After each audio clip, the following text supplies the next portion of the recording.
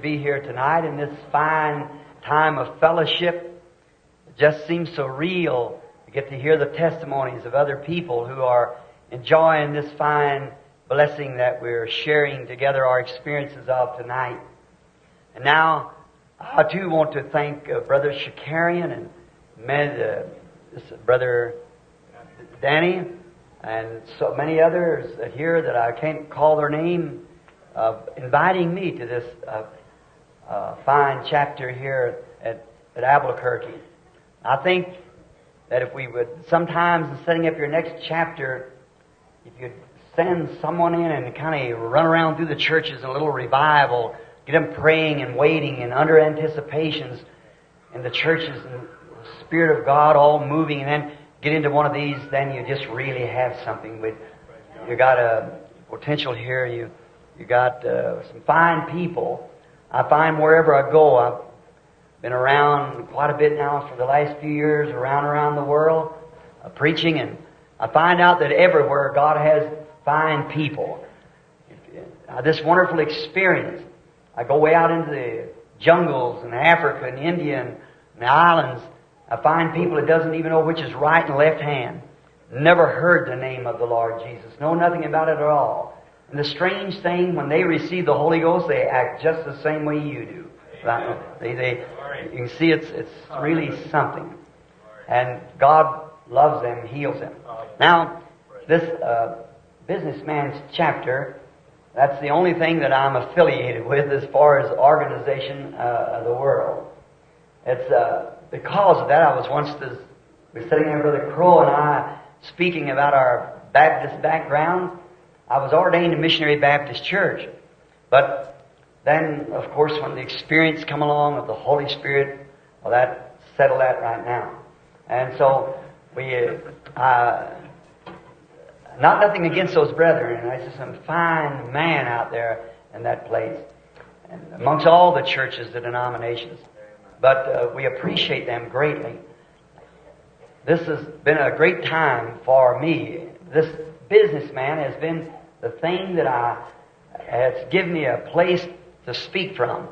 Now, when I heard the name Pentecost, why I heard the name and they told me it's a bunch of holy rollers rolling up down the floor, slobbering and, and everything, but I, I found out that that wasn't so. And then, but when I got come among them, they were they were broke up in as many different organizations as we Baptists were. Just they were just eh, I thought there's just one group, but I come to find out there's just all kinds of groups fussing with one another just about as bad as we Baptists and the rest of us. and we're just about the same.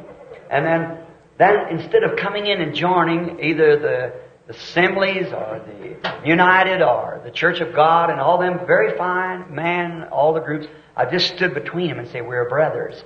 Don't argue one with another. Now, if Satan can keep us fighting one another, he don't have to fight.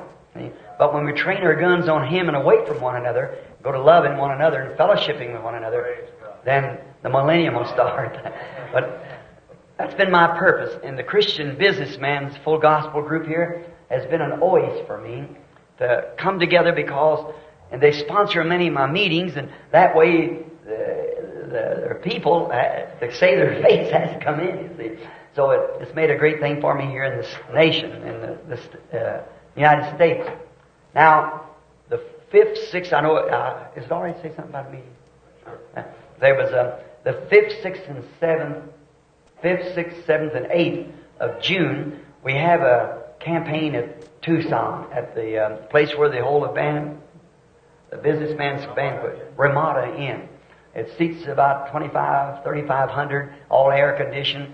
And now, as a speaker, anyone that knows me knows that I'm not a speaker. I only have a uh, grammar school education. That's a small one. Uh, only got to the seventh grade. And so, uh, as far as saying a preacher, you know I'm not. But uh, just make a joyful noise unto the Lord and try to share what I've learned about Him with others. My calling in life is prayer for the sick, praying for the sick. That's what the Lord has blessed me with. Great meetings, leading people. Greatest number I ever had at one time in one single meeting was in Bombay, 500,000 at one meeting. And then Africa, I believe, when we counted the converts, a blanket natives, heathens, didn't know which was right and left hand, had 30,000 of them at one time received Christ as Savior. At one time, of a crippled, blind boy with not even mentally right, the fifth person on the platform.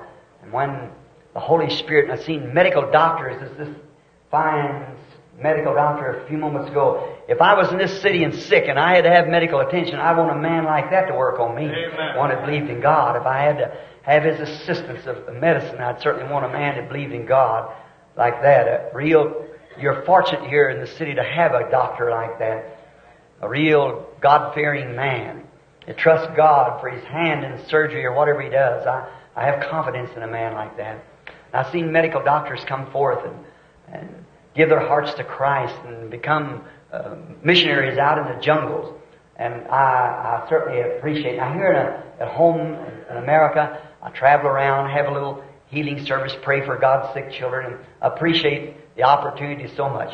So if you're in around near uh, Tucson, uh, June the 5th, 6th, 7th, and 8th, the chapter there will sponsor it. Now, as far as we know, and all the assemblies of God, I think there's five or six, seven assemblies of God, and many of the other uh, Church of God and so forth, they're all coming in uh, for a union fellowship for this meeting.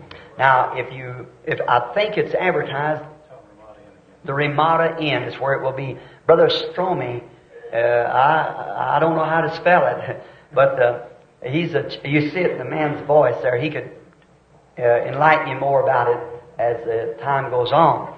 I'm going now right away into Alaska to organize a chapter up there at Anchorage, and uh, so then I'm going up into the Yukon uh, about another week or ten days, and up in the little way away places where ministers like great man like Brother Oral Roberts and Tommy Osborn and some of those men who have uh, those great outstanding ministries, they can't get to those places. They, they can't afford it.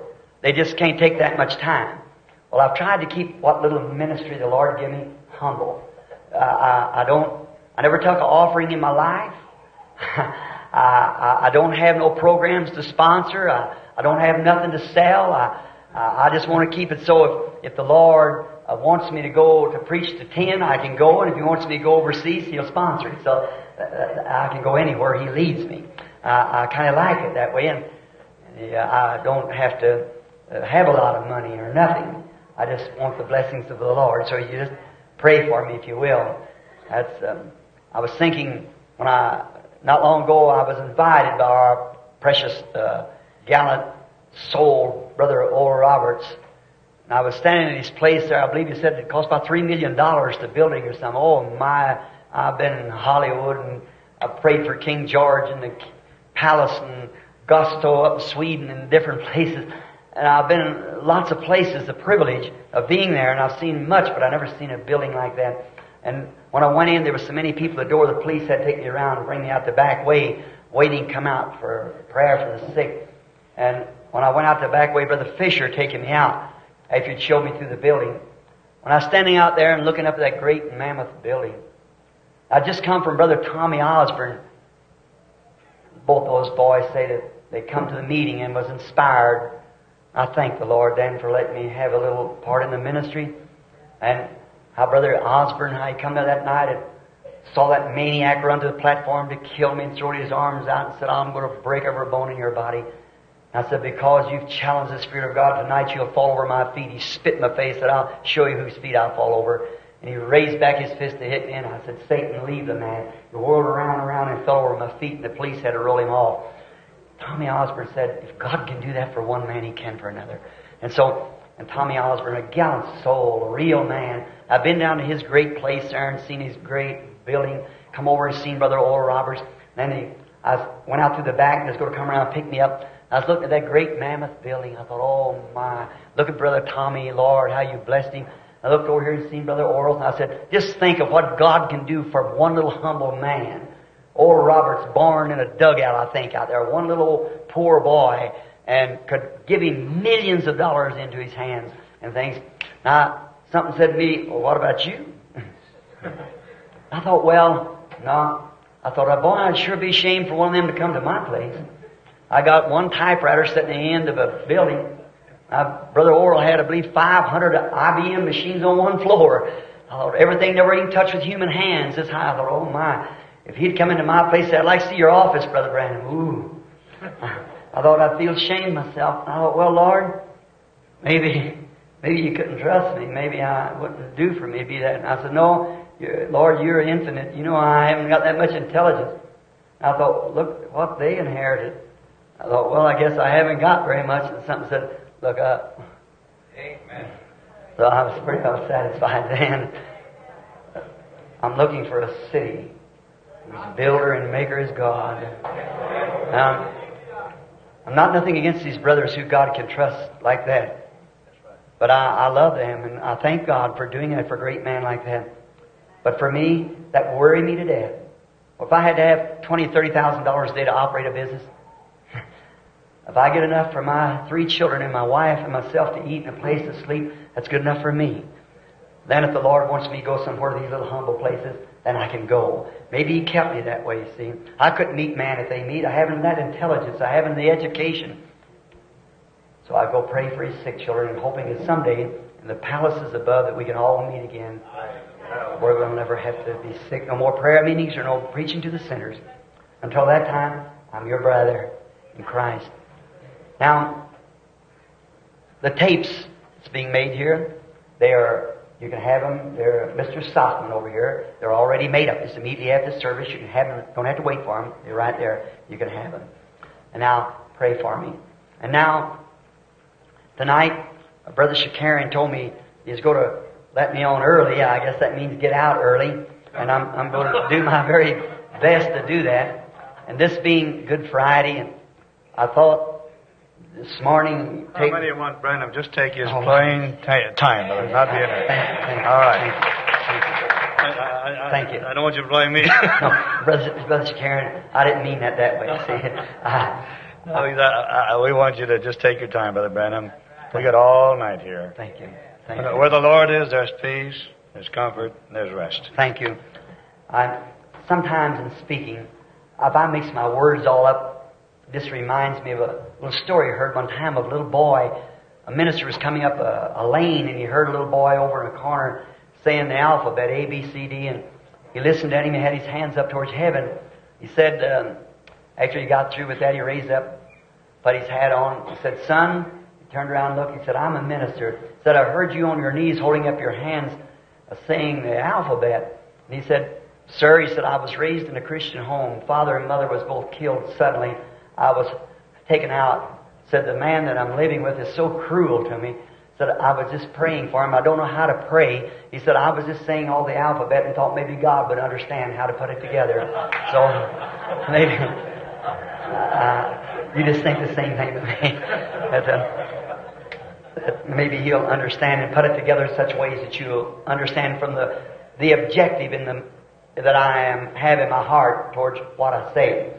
I've never been prone to to try to be frustrated among man because I've been among man. I only have one thing that I see, and that's Christ and Him crucified. I see a church that I love that He died for, and I'm very zealous of that church. And I, I do the best I can to keep it what I think is right and order in line with God's Word. And I'm looking someday to spend a ceaseless eternity with you over in a land where we'll sit around like we was tonight as many times to look upon when we're having uh, breakfasts and suppers and things like that. Now, I'm a Southerner, and it's still supper to me. Uh, they talk about this here breakfast, uh, lunch, and dinner. Uh, I, I can't do that. I, what becomes of my supper? See, I, I, I just, I got to have supper. That's, I, luncheon don't do me no good. I, I got to eat three times a day. But, so, I'm thinking as I looked, and I was shaking hands with some of the man here, aged ministers, that was probably on the field when I was still a sinner. And I look at them and I think of seeing the gray in their hair. And uh, I think, my, that man was out there fighting before I was even converted. I have no business standing on the platform speaking to such a man as that. Then I look out, well, only thing they done, they, they prophesied and said these things would come. And I want you to know, brethren, I think you just you just laid the foundation stones for the broke the fields, you Pentecostal brothers who stood out here with a tambourine in your hand when you didn't have a church to go to, when the people laughed and threw rotten eggs at you and you was laid in jail all night, broke corn on the railroad tracks, your children went hungry. God bless your gallant soul. You should be here, not me. But you said that there'd come a time when these things would happen. I'm glad to see you live, to see it happen. The half has never yet been told. And I, I appreciate you. And I've looked down the table and see you different ones. I think I may never eat supper with you again here on earth. But someday when life is all over, we'll eat supper again. That's right. Up there in the Father's house. When we look across the table and see one another, we're on the battlefield now. Yes. We got to hurry away. But just imagine what it'll be when I look across the table and see all the redeemed sitting there, reach across and get a hold of your hand. We start crying, we got to. Then the king will come out and wipe all the tears from our eyes. Say, Don't cry, children. It's all over. Enter into the joys of the Lord that's been prepared for you since the foundation of the world. Our little differences will fade away then, and there will be one great eternity. I want to spend it with you. Let us pray now as we bow our heads. Our Heavenly Father, the great, mighty Jehovah, who thundered forth in the beginning and said, Let there be light, and there was light. Oh, thunder again, Jehovah. Throw light upon our paths tonight. Throw light upon thy word. Throw light upon the day that we're living in. Send the light. Grant it, Lord. Bless thy people everywhere, around the world, where revival fires are burning on the hillsides, in the heathen lands, around the world. We pray that you'll bless every God sent minister. Oh God, inspire their lives. Just think it right at this same moment. People are receiving the Holy Spirit around the world. People are being healed this very minute around the world. How we thank Thee for this great universal blessing that was made possible by the death of Thy Son some 1900 years ago this afternoon as we have celebrated this Good Friday. We pray, Lord, that His Holy Spirit will come among us now and will give to us the portion of the bread of life that we have need of that would sustain us for the further journey. As we've come aside out of the field for these few days to sit in the shade of the tree of life, to enjoy each other and our fellowship together. We thank you for it. It's been refreshing. Now grant it once more tonight, Father, and fill our souls. Heal every sick person's here. How we thank you for your healing today of our sister with that short limb and short foot and that condition. We're grateful, Lord. We thank you. It shows that the living God is dwelling among us. We thank you for the sister that, that was healed of the goiter on her throat. We maybe don't even know yet what all you've done. It's remarkable, Lord, to see how you do things. We're grateful to you. Now bless us further. Bless the reading of thy word. Hide thy servants now. Circumcise the lips that will speak and the ears that will hear. For we ask it in Jesus' name. Amen. Let us turn now for a text to read, or for a scripture reading, or rather. I want to read from two places out of the Word, and that is from Isaiah, the 53rd chapter of Isaiah. I want to read from the first, first verse until the 10th, to, to the 10th verse, rather. And then uh, we want to read Matthew 11, 25 and 26. Now, let us read. Who has believed our report? And to whom is the arm of the Lord revealed? For he shall grow up before him as a tender plant and out of the root, out of dry ground. He has no form or comeliness. And when we shall see him, there is no beauty that we should desire him. He is despised and rejected of man, a man of sorrow, acquainted with grief. We hid, as it were, our faces from him. He was despised, and we esteemed him not. Surely he has borne our griefs and carried our sorrows. Yet we did esteem him stricken, smitten of God, and afflicted. But he was wounded for our transgressions. He was bruised for our iniquity. The chastisement of our peace was upon him, and with his stripes we are healed. All we like sheep have gone astray. We have turned every one to his own way. the Lord laid upon him the iniquity of us all. He was oppressed and afflicted. he was afflicted, and yet he opened not his mouth. He was brought as a lamb to the slaughter, and as a sheep before her shears is dumb, so he opened not his mouth. He was taken from prison and from judgment, and who shall declare his generation? For he was cut off from the land of the living, and for the transgression of my people was he stricken. And he was he and he made his grave with the wicked, and in the rich in his death, because he had done no violence, neither was there deceit in his mouth. Yet it pleased the Lord to bruise him. He has put him to grief. When thou shalt make his soul an offering for sin, and he shall see his seed, and shall prolong his days, and the pleasure of the Lord shall prosper in his hand.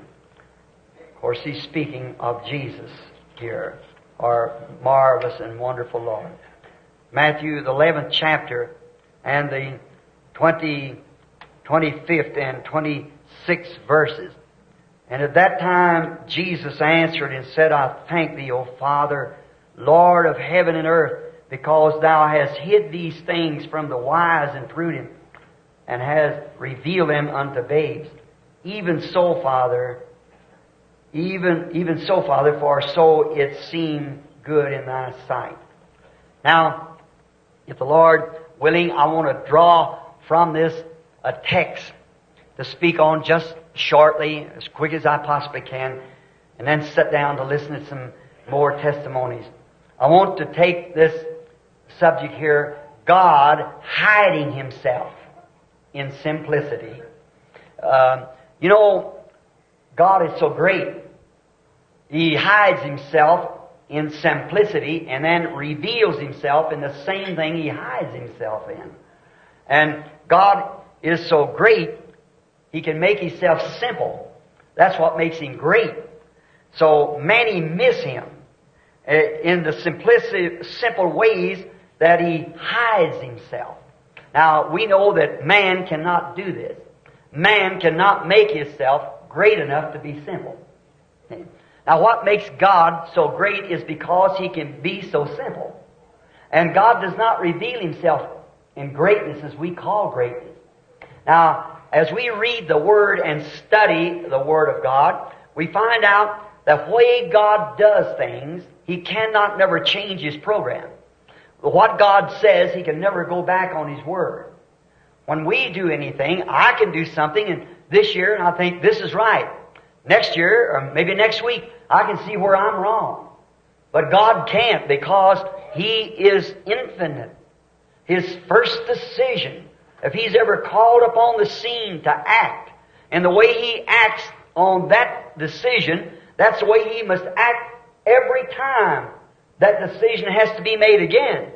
Because if He did not, if He acts a certain way on a, this decision, and the same subject comes up again, and if he doesn't act the same way he did the first time, then he acted wrong the first time.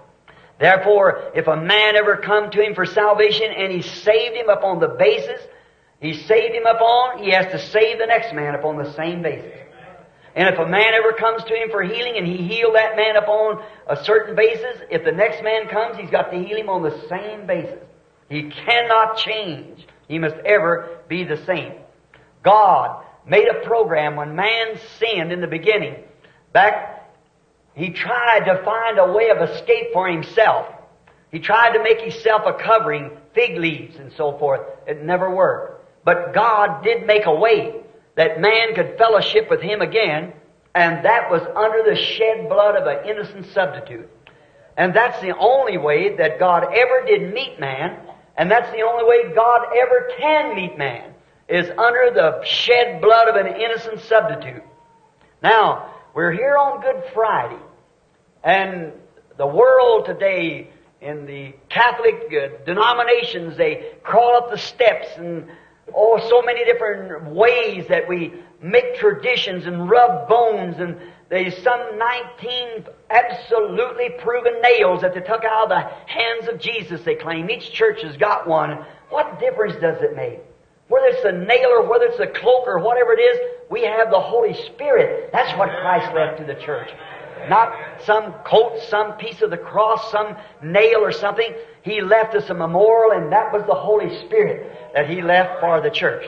Now, now that was what He left to the church 1900 years ago. This afternoon, as He died at Calvary, He commanded into the hands of God His Spirit, and it was sent back to the church on the day of Pentecost. Now, God in the beginning, when man sinned, it showed the nature of man. He's always trying to hide from God and make himself a way that he can feel justified, a religion. That's been, uh, religion means a covering. So he tried to make his own religion. But God made his decision on how that he would meet man. That was up on the shed blood. And that's the only way, no matter how much we try any other way, that's the only place that God will meet man. For fellowship is under the shed blood. God only met Israel under the shed blood. The only place that Israel could worship was under the shed blood. And today we have tried organization, we've tried denomination, we have tried, we have tried education, we've tried scientific achievements and everything to try to bring men into a unity for fellowship. And it's failed every one of them. And there's one place that man can meet and fellowship with God and fellowship with each other. That's under the cross when each man accepts the blood of Jesus Christ. I don't care in all of his peculiarity, he can still reach over and put his hand in the next man's hand and call him brother when we meet at the cross where Jesus died. We are becoming a scientific age. Everything must be proven scientifically. We're living in the age of science as was predicted by the Bible, weaker than wiser, as we as predicted. And we're living in that age. And more we probe into science, further we get away from God. You'll never be able to scientifically prove God. And the whole Christian armor is absolutely supernatural. There's nothing natural. If you can prove God, then there's no more need of faith. But he that cometh to God must believe that he is. It's by faith. The whole Christian armor is faith. Dr. F. F. Bosworth, one of my first managers, wrote a book called Looking at the Unseen. Uh, many of you have read it, no doubt. It's a very fine book the, of looking at the unseen. The Christian looks at things he does not see. Now let's just take the armor of Christianity and see if it's supernatural. Love, joy, peace, faith, long suffering, meekness, gentleness, patience. Everything's supernatural. Love, Go down to the drugstore and buy me a quarter's worth of love. I need it. See? You couldn't do it. Buy me a dollar's worth of peace. You couldn't do it. See? Everything's supernatural. The whole armor of God is supernatural. His church is supernatural. It's not an organization, it's a supernatural body that man and women are born into by the Holy Spirit. And it's simple way. God doesn't make things complicated of so many rosaries and so many this and jar and this and so much education, so much theology while we get ourselves farther and farther away from God all the time by doing so. Today we're so scientific that we can tell how many molecules it takes to make an atom, how many electrons and so forth that split that atom and tell you how it's done and make an atomic bomb. And then we can explain how we done it. But walk over a blade of grass that we cannot explain. God in simplicity. God manifested Himself in simplicity. He makes himself simple. That so that the wise will not understand. Jesus said, I thank thee, Father, thou hast hid this from the wise and prudent, and will reveal it to babes such as will learn. Don't never try to educate yourself to God. When you do, you educate yourself away from God. See, God's not knowing by education. God's knowing by faith. And the first stroke that the devil took was on the educational program, and man lost his fellowship with God. Exactly. He must know God by faith, not what he can explain, but what he believes that he can explain. That we just vice versa the picture. Now today everything's a, an educational program. Yes, we walk over a simple little blade of grass. We send our children to Bible schools and to colleges. Now remember, I'm not condemning that. I'm not supporting ignorance. But I'm trying to tell you the folly of it. And there's where we make, you know there's something wrong. And it's like in my meetings. Most time when I get meetings, I find those that fails over in the other fellow's meeting. Because many times I've watched Brother Roberts, someone said, Brother Roberts, Brother Branham will pray for 500 while you pray for three. That's right. Certainly. He'll get twice the testimonies, certainly 50 times the testimonies. See, because you'll, after all, it's based upon the faith of the individuals being prayed for. But the ones that fails in there, then they come over to the meeting. Because, here, uh, a doctor sitting present. If a doctor, you go to the doctor's office and say, I'm sick at my stomach, I've got a headache and so forth, and that doctor just writes you out a little prescription of, of aspirin or a tranquilizer or something, he's never diagnosed that case. He's just trying to get you out of the office. See?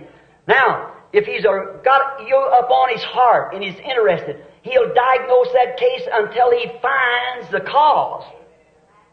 And when a man is sick or a woman and something's happened, there's only one way to correctly get that. That's go back and find the cause. Go back till we see what they've done. In the meetings, watch them stand on the platform. The Holy Spirit say, ten years ago you was at a certain place and you done a certain thing and you did this and certain, you've heard it, many of you in the meeting. See, you did that. You've got to make that right first. And then, if they promise to do it, then you'll hear it come forth, thus saith the Lord. Mark it in your books. Did you ever see it fail? Certainly not. It doesn't, it can't. What is it? See, you, the first thing, you've got to find the cause before you can produce the cure. You've got to find the reason for it. And now, today, we are trying to educate people to that, uh, to the scientific approach to God. And you can't do that. God is known not by science, but by faith we know God. And I'd say this, that, that a man can sit down and look at a bunch of flowers a bouquet, and study that 30 minutes sincerely with all his heart and know more about God than he did if he know, had all the degrees that a Bible school could give him. For God reveals himself in the flower. We see it die and rise again. Resurrection. We see two or three different colors in the same species of flower. Where did that coloring come from? Explain it to me. How did it get there? Where does it go and how does it get back again? How does that seed have to die and rot and come back again? God showing Himself in simplicity, then hiding Himself again in death to show Himself again in resurrection. See? It's just, you don't have to know a whole lot. The only thing you have to know is to have faith in what you're looking at, what you're believing. See? Believe one hour would really prove it. Would teach you more about God than all the degrees that you could have. God is so great, He can make Himself simple. Now that's what makes God great to me, is how He can make Himself simple. And that for doing Himself, He hides Himself from the smart and wise. Now, just think of that. He hides Himself from the smart people and reveals Himself to the humble people. The Bible said in Isaiah 35, even though a fool should not err in the way. It's so simple. And as you try to figure it out and study it out, you just figure away from God. Every time you do that, you just get yourself farther and farther away. Quit trying to figure it out, just believe what He said. That's all there is to it. Just believe it. And then hides himself from the wise and shows himself to the simple. Man can't be that big. A man, as soon as he gets himself a degree of some sort, he knows more than the next fellow. You can't tell him nothing.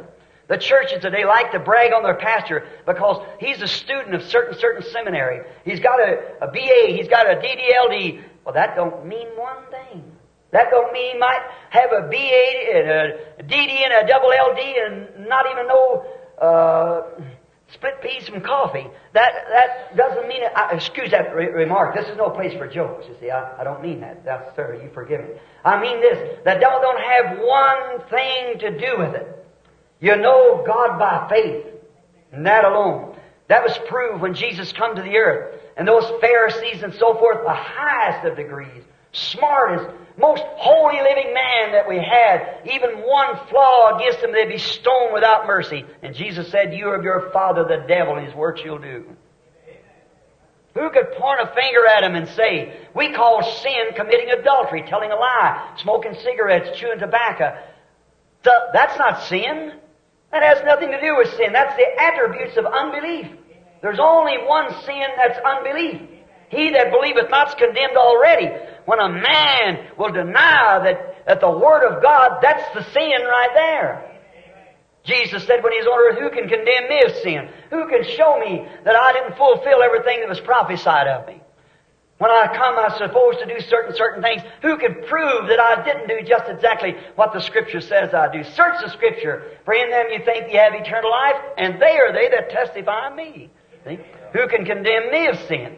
Now those people there, oh, they had to wash their pots and kettles and wash before eating and all these regular uh, traditions they had to go through, but Jesus condemned them all and set them aside and told them they were devils.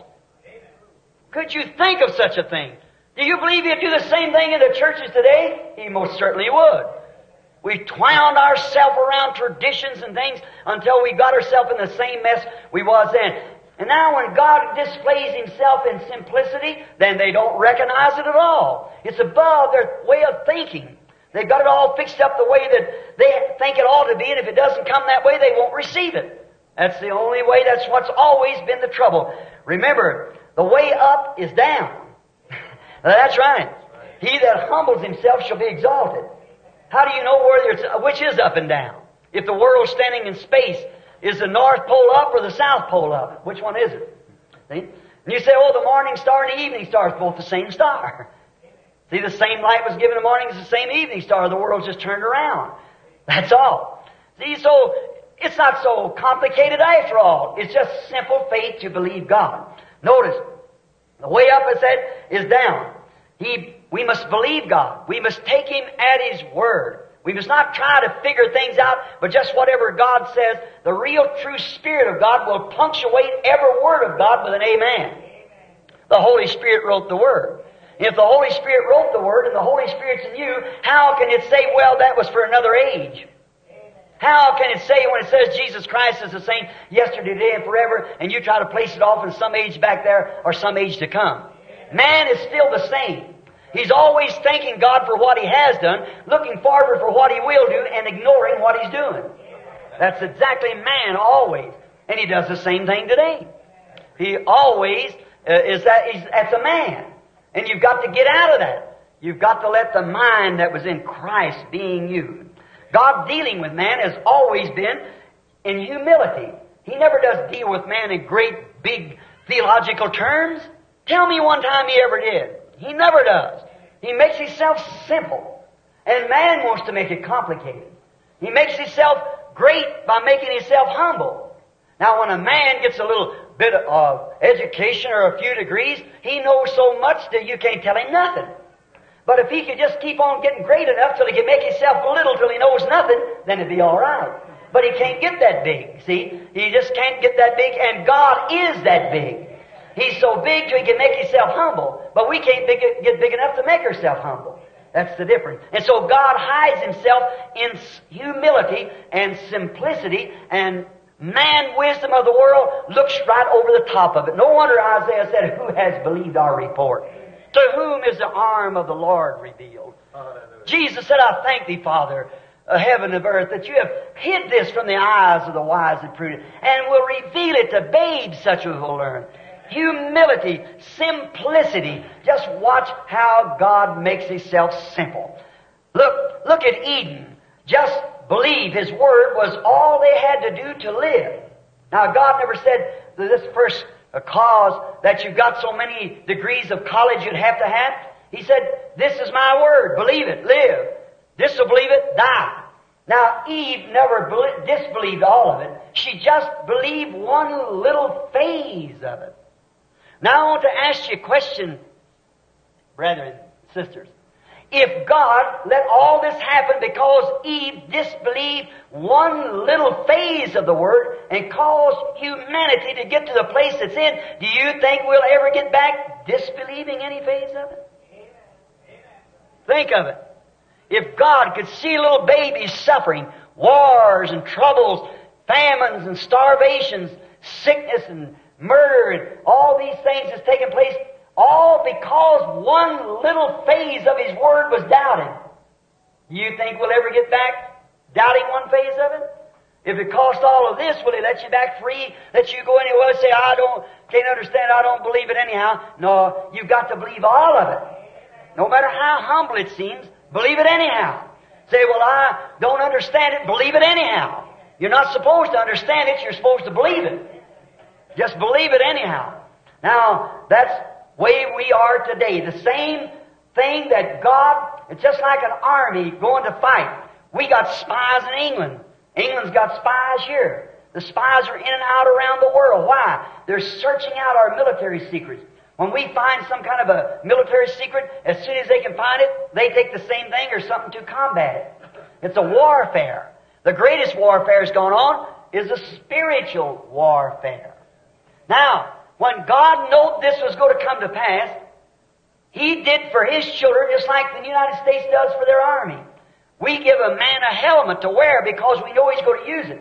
We give him a, a spade to dig in. We know it's a big pound, about 90 pound pack on his back. Some little rookie packing it, he certainly is a, a hard thing for him, but the army knows they've got to train him for that because he's going to need it. Every piece of equipment, he's going to need it when he hits the battlefront.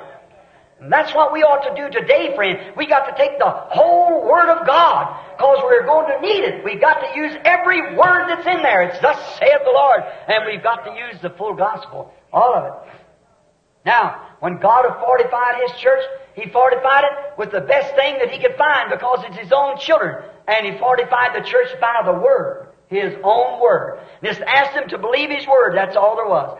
And Satan, by his wisdom, caused Eve to break down that barrier just in one place. Satan admitted every bit of the word was right, but said, surely, that's all he had to know. Surely you won't die. Now, that was the loophole. He got Eve from behind that word with one little doubt. That's exactly where he gets the church today. The same thing, just that one little doubt brings you on this side. And now, there's no way to ever try to think that God will ever spare you through belonging to a church, belonging to an organization or a group or whatever it is or any sensation. You've got to believe His Word and act upon the same. Right? There's, that's the only way. That's the, God's program at the beginning. That's God's program down through the life. That's God's program now. Is the church must stay behind the Word. That's the only way that he, you can be saved. Notice, Noah, in his days, we spoke of it this morning, in his days it was a great intellectual time. And man was smart. And Noah in his great intellectual age, God came down to save the elected people. Do you believe God has an elected church? Certainly He does. And He comes to save that elected. The rest of them, it's just common cannon fodder. But he, but he knows that there's going to be so many of them saved because he put their names on the Lamb's Book of Life before the foundation of the world. It's exactly according to the Scripture. And the Antichrist in the last days will deceive everyone whose names were not written on that book before the foundation of the world. The Bible said so. The Antichrist so close, it'll be Pentecost to the dot. See? But it'll deceive those whose names were not written on the book of life from the foundation of the world when the Lamb was slain. Notice, now we find that Satan, that great agent, he only was able to get the church the first time by making them accept his wisdom of the world and get away from common faith that God told them to have in his word. That was his first program. He succeeded there, and there's where he's done it every time. Oh, if we could only see that that's it. And when He can get you from behind that Word, that's all He has to do. You're, you're in His hands right then. Notice, just believe His Word and live. Now, Eve, that wasn't enough for her. She had to have some of the wisdom of the world. That's the way we do today. We've just got to have some doctor, PhD, LLD to tell us about it. Brother, if it's contrary to this Word, you leave it alone. I don't care if it's a Pope of Rome or if it's a uh, any hierarchy or the Archbishop of Canterbury, I don't care who it is. You believe God's Word and let every other word be a lie. If anything's contrary to the Word. I found out this one thing. Live by the Word. If God makes a promise, He's got to keep that Word. If He doesn't keep that Word, then it's not God. Now, God's going to have to judge the world with some standard someday.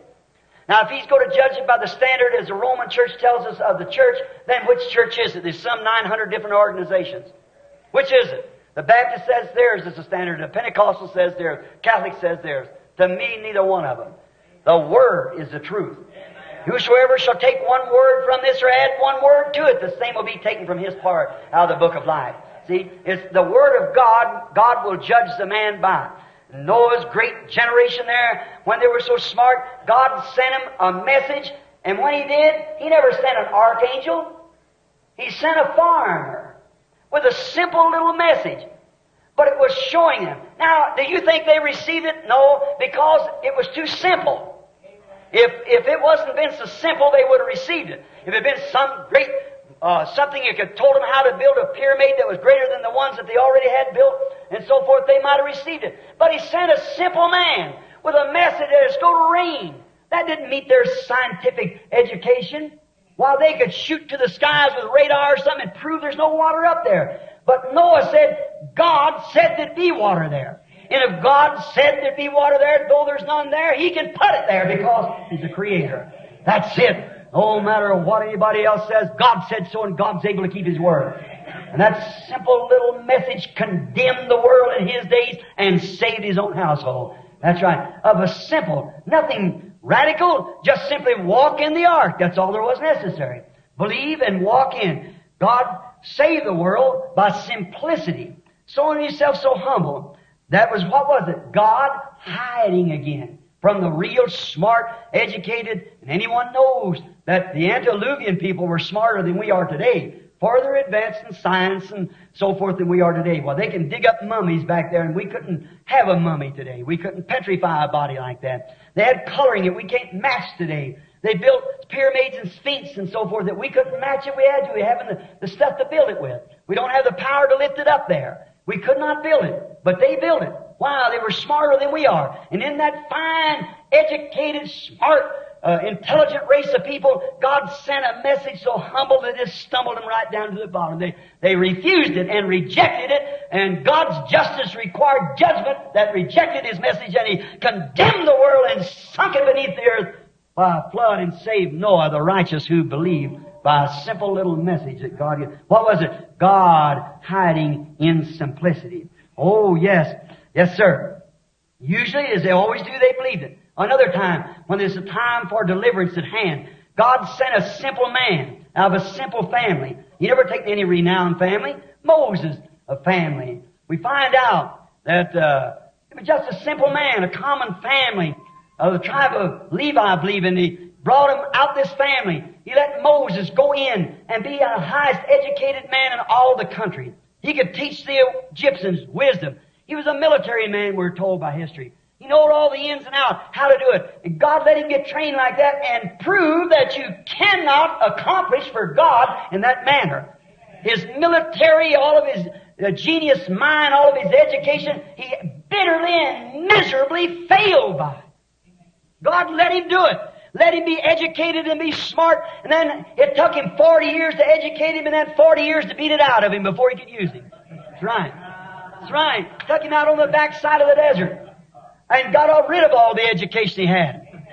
Oh, the only thing is the trouble today, we're always trying to pack up for the coming. We ought to be emptying up for the coming. There's got to be a space there. There's got to be something, a hunger. We're trying to persuade and pull. We ought to do that. If a man's hunger for God, there's a place empty for him. That's all.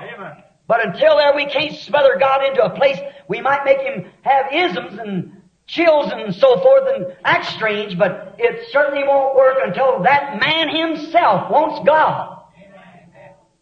Yes, sir. So our man-made programs are no good. Getting God's. That's exactly right. Join church, shake hands, forms of baptisms and rituals and, and rosaries and so forth. Nonsense. It's a birth. God, blessed are they that do hunger and thirst for righteousness, for she shall be filled. Right. You got to have an empty spot. What makes man hunger? What makes man go out here and do the way they do? What makes these women out on the street walking with these uh, immoral clothes on? What are they trying to do? They're trying to satisfy a hunger.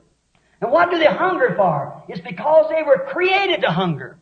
But that hunger, how dare any person try to hush that holy hunger that God made you to hunger for Him and try to satisfy it with the things of the world? You don't have a right to do that.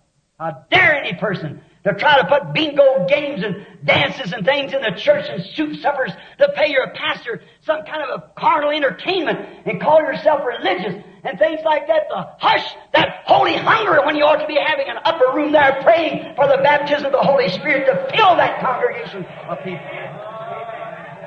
You have no right, but it's too humble. It doesn't meet your requirements. Your education's gone above that.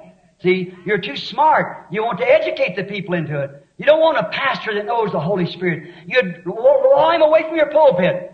You don't want that because he can't show his card. He can't show what school he was from. Do you think Moses could have showed it? Do you think any of the prophets could have showed it? Could Jesus show it? They said, what school? Where did he get this education? Where did this come from? We don't have a record of him ever going to school a day in his life. What about John, that old woolly, fuzzy worm face coming out of the wilderness like that? His father was a preacher. And he come out of a school, he was a priest. We don't even have any record of him ever going to school. He went into the wilderness at nine years old. Why? He had an important job to do. Why didn't he follow his father's trait just like was customary for him to do? Well, that seminary down there would, would have got him so many scruples it had. Now, you know, you're to announce the Messiah. Now, you know Brother Jones meets that. He went out in the wilderness and he waited on God until the Lord told him, Upon whom thou shalt see the Spirit descending and remaining. He's the one who's going to baptize with the Holy Ghost and fire. His ministry was too important to get an education. Certainly it was. You had to have the power of God. Now, if you got your education plus the power of God, wonderful. But don't put that education above the power of God. See? Truly. Now we find out that Moses, now when he was out there, he had 40 years, he trained himself, knowing by his mother that he was to deliver the children of Israel. He thought surely when he killed that Egyptian that the brothers would understand it, but they didn't. So through all of his schemes, he failed and miserably failed. But in five minutes, in the presence of a burning bush out there, God put more into him and, uh, uh, than the seminary did down there in 40 years. Now I'll admit one thing. When you learn God of God in humility, what about a bush? What if Moses said, now wait a minute, my education is very high.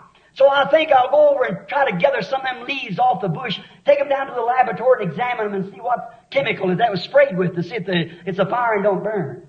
See, he would have never found the secret, but he walked up to Mother Nature, took off his shoes, knelt down and began to talk to it, and it talked back to him. That's the way. Don't try to educate yourself into something, but get right down before Jehovah God. Speak to him, he'll speak back to you again. That's just how humble it is. Ask and you shall receive. Knock, it'll be open. Seek and you shall find.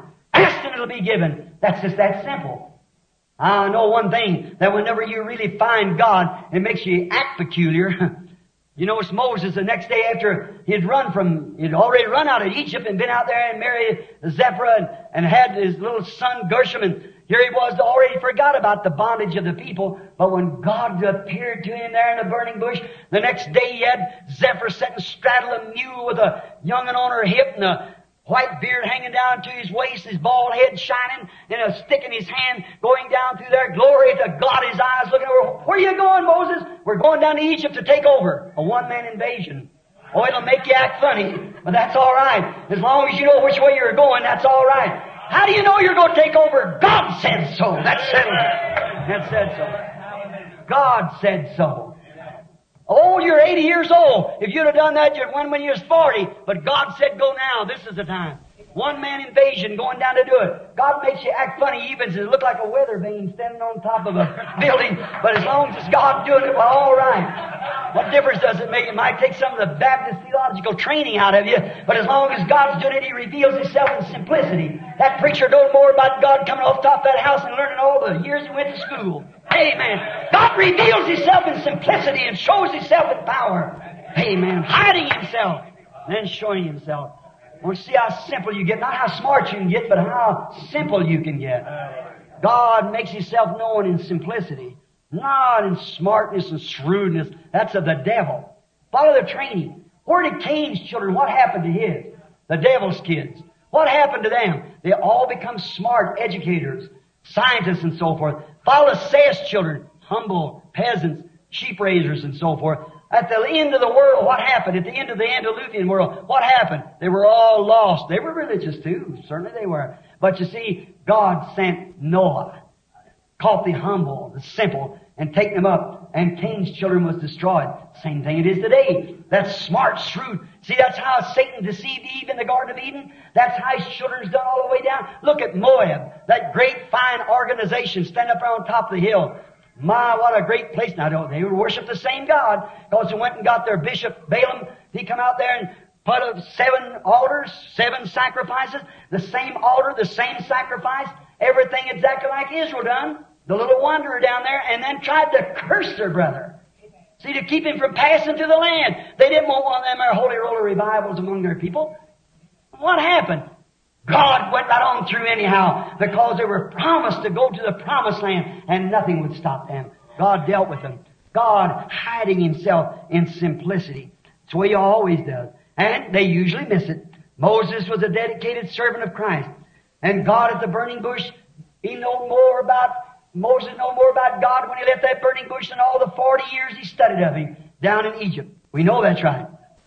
In the days of Ahab, the world had got to such a place. Politics had played such a part, as we talked on this morning, until Ahab come on the scene.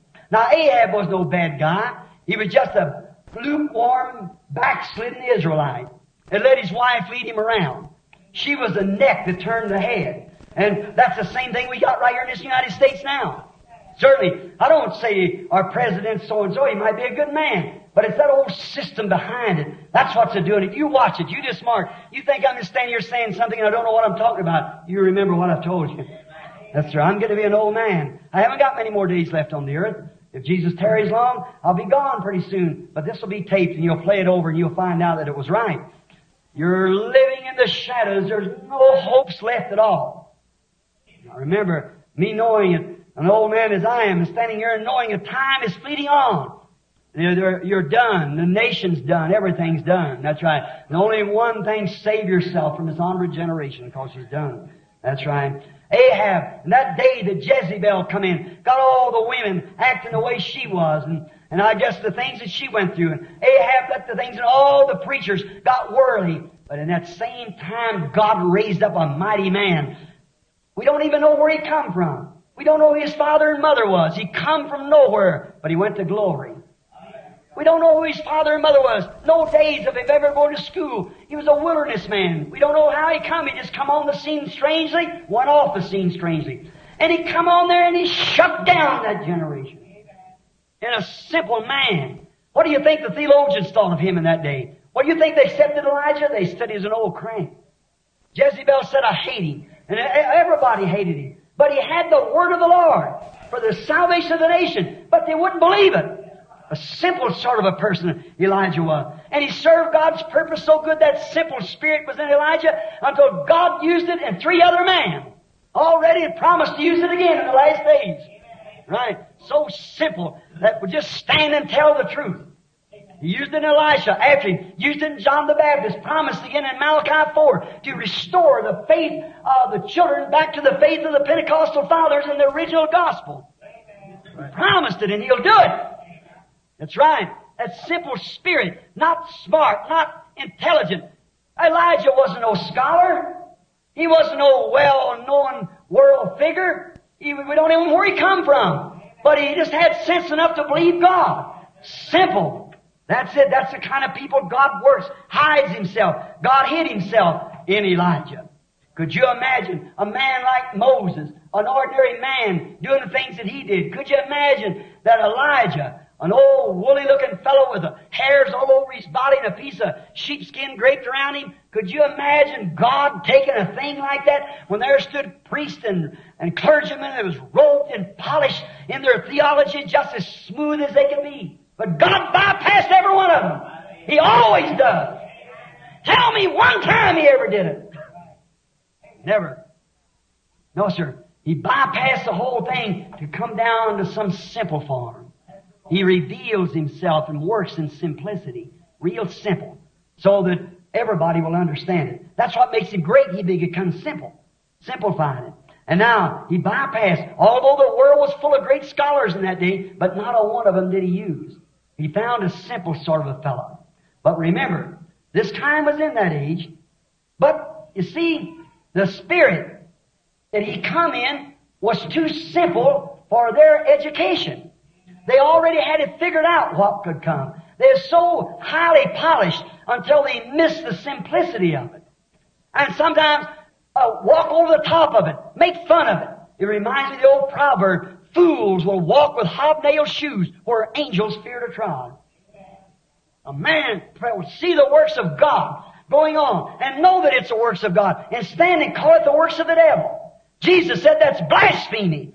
If you say a word against the eye of the Son of Man, it shall be forgiven you. But whosoever speaketh against the Holy Ghost will not be forgiven them. In this world, neither in the world that is to come. See? But we walk with hobnail shoes where angels fear to trod. We, we're so smart, we're so polished that that's what's becoming of our America. We're too smart. We're educating ourselves away from God. Our schools are sending our preachers like an incubator chicken. I always felt sorry for an incubator chicken. He's hatched out under artificial light. And the first thing you know, you chirp, chirp for a mammy because that's his nature. But he ain't got no mammy. He was hatched out by an incubator. That's what I think a whole lot of these degrees make. An incubator chicken chirping at you don't know what you're talking about.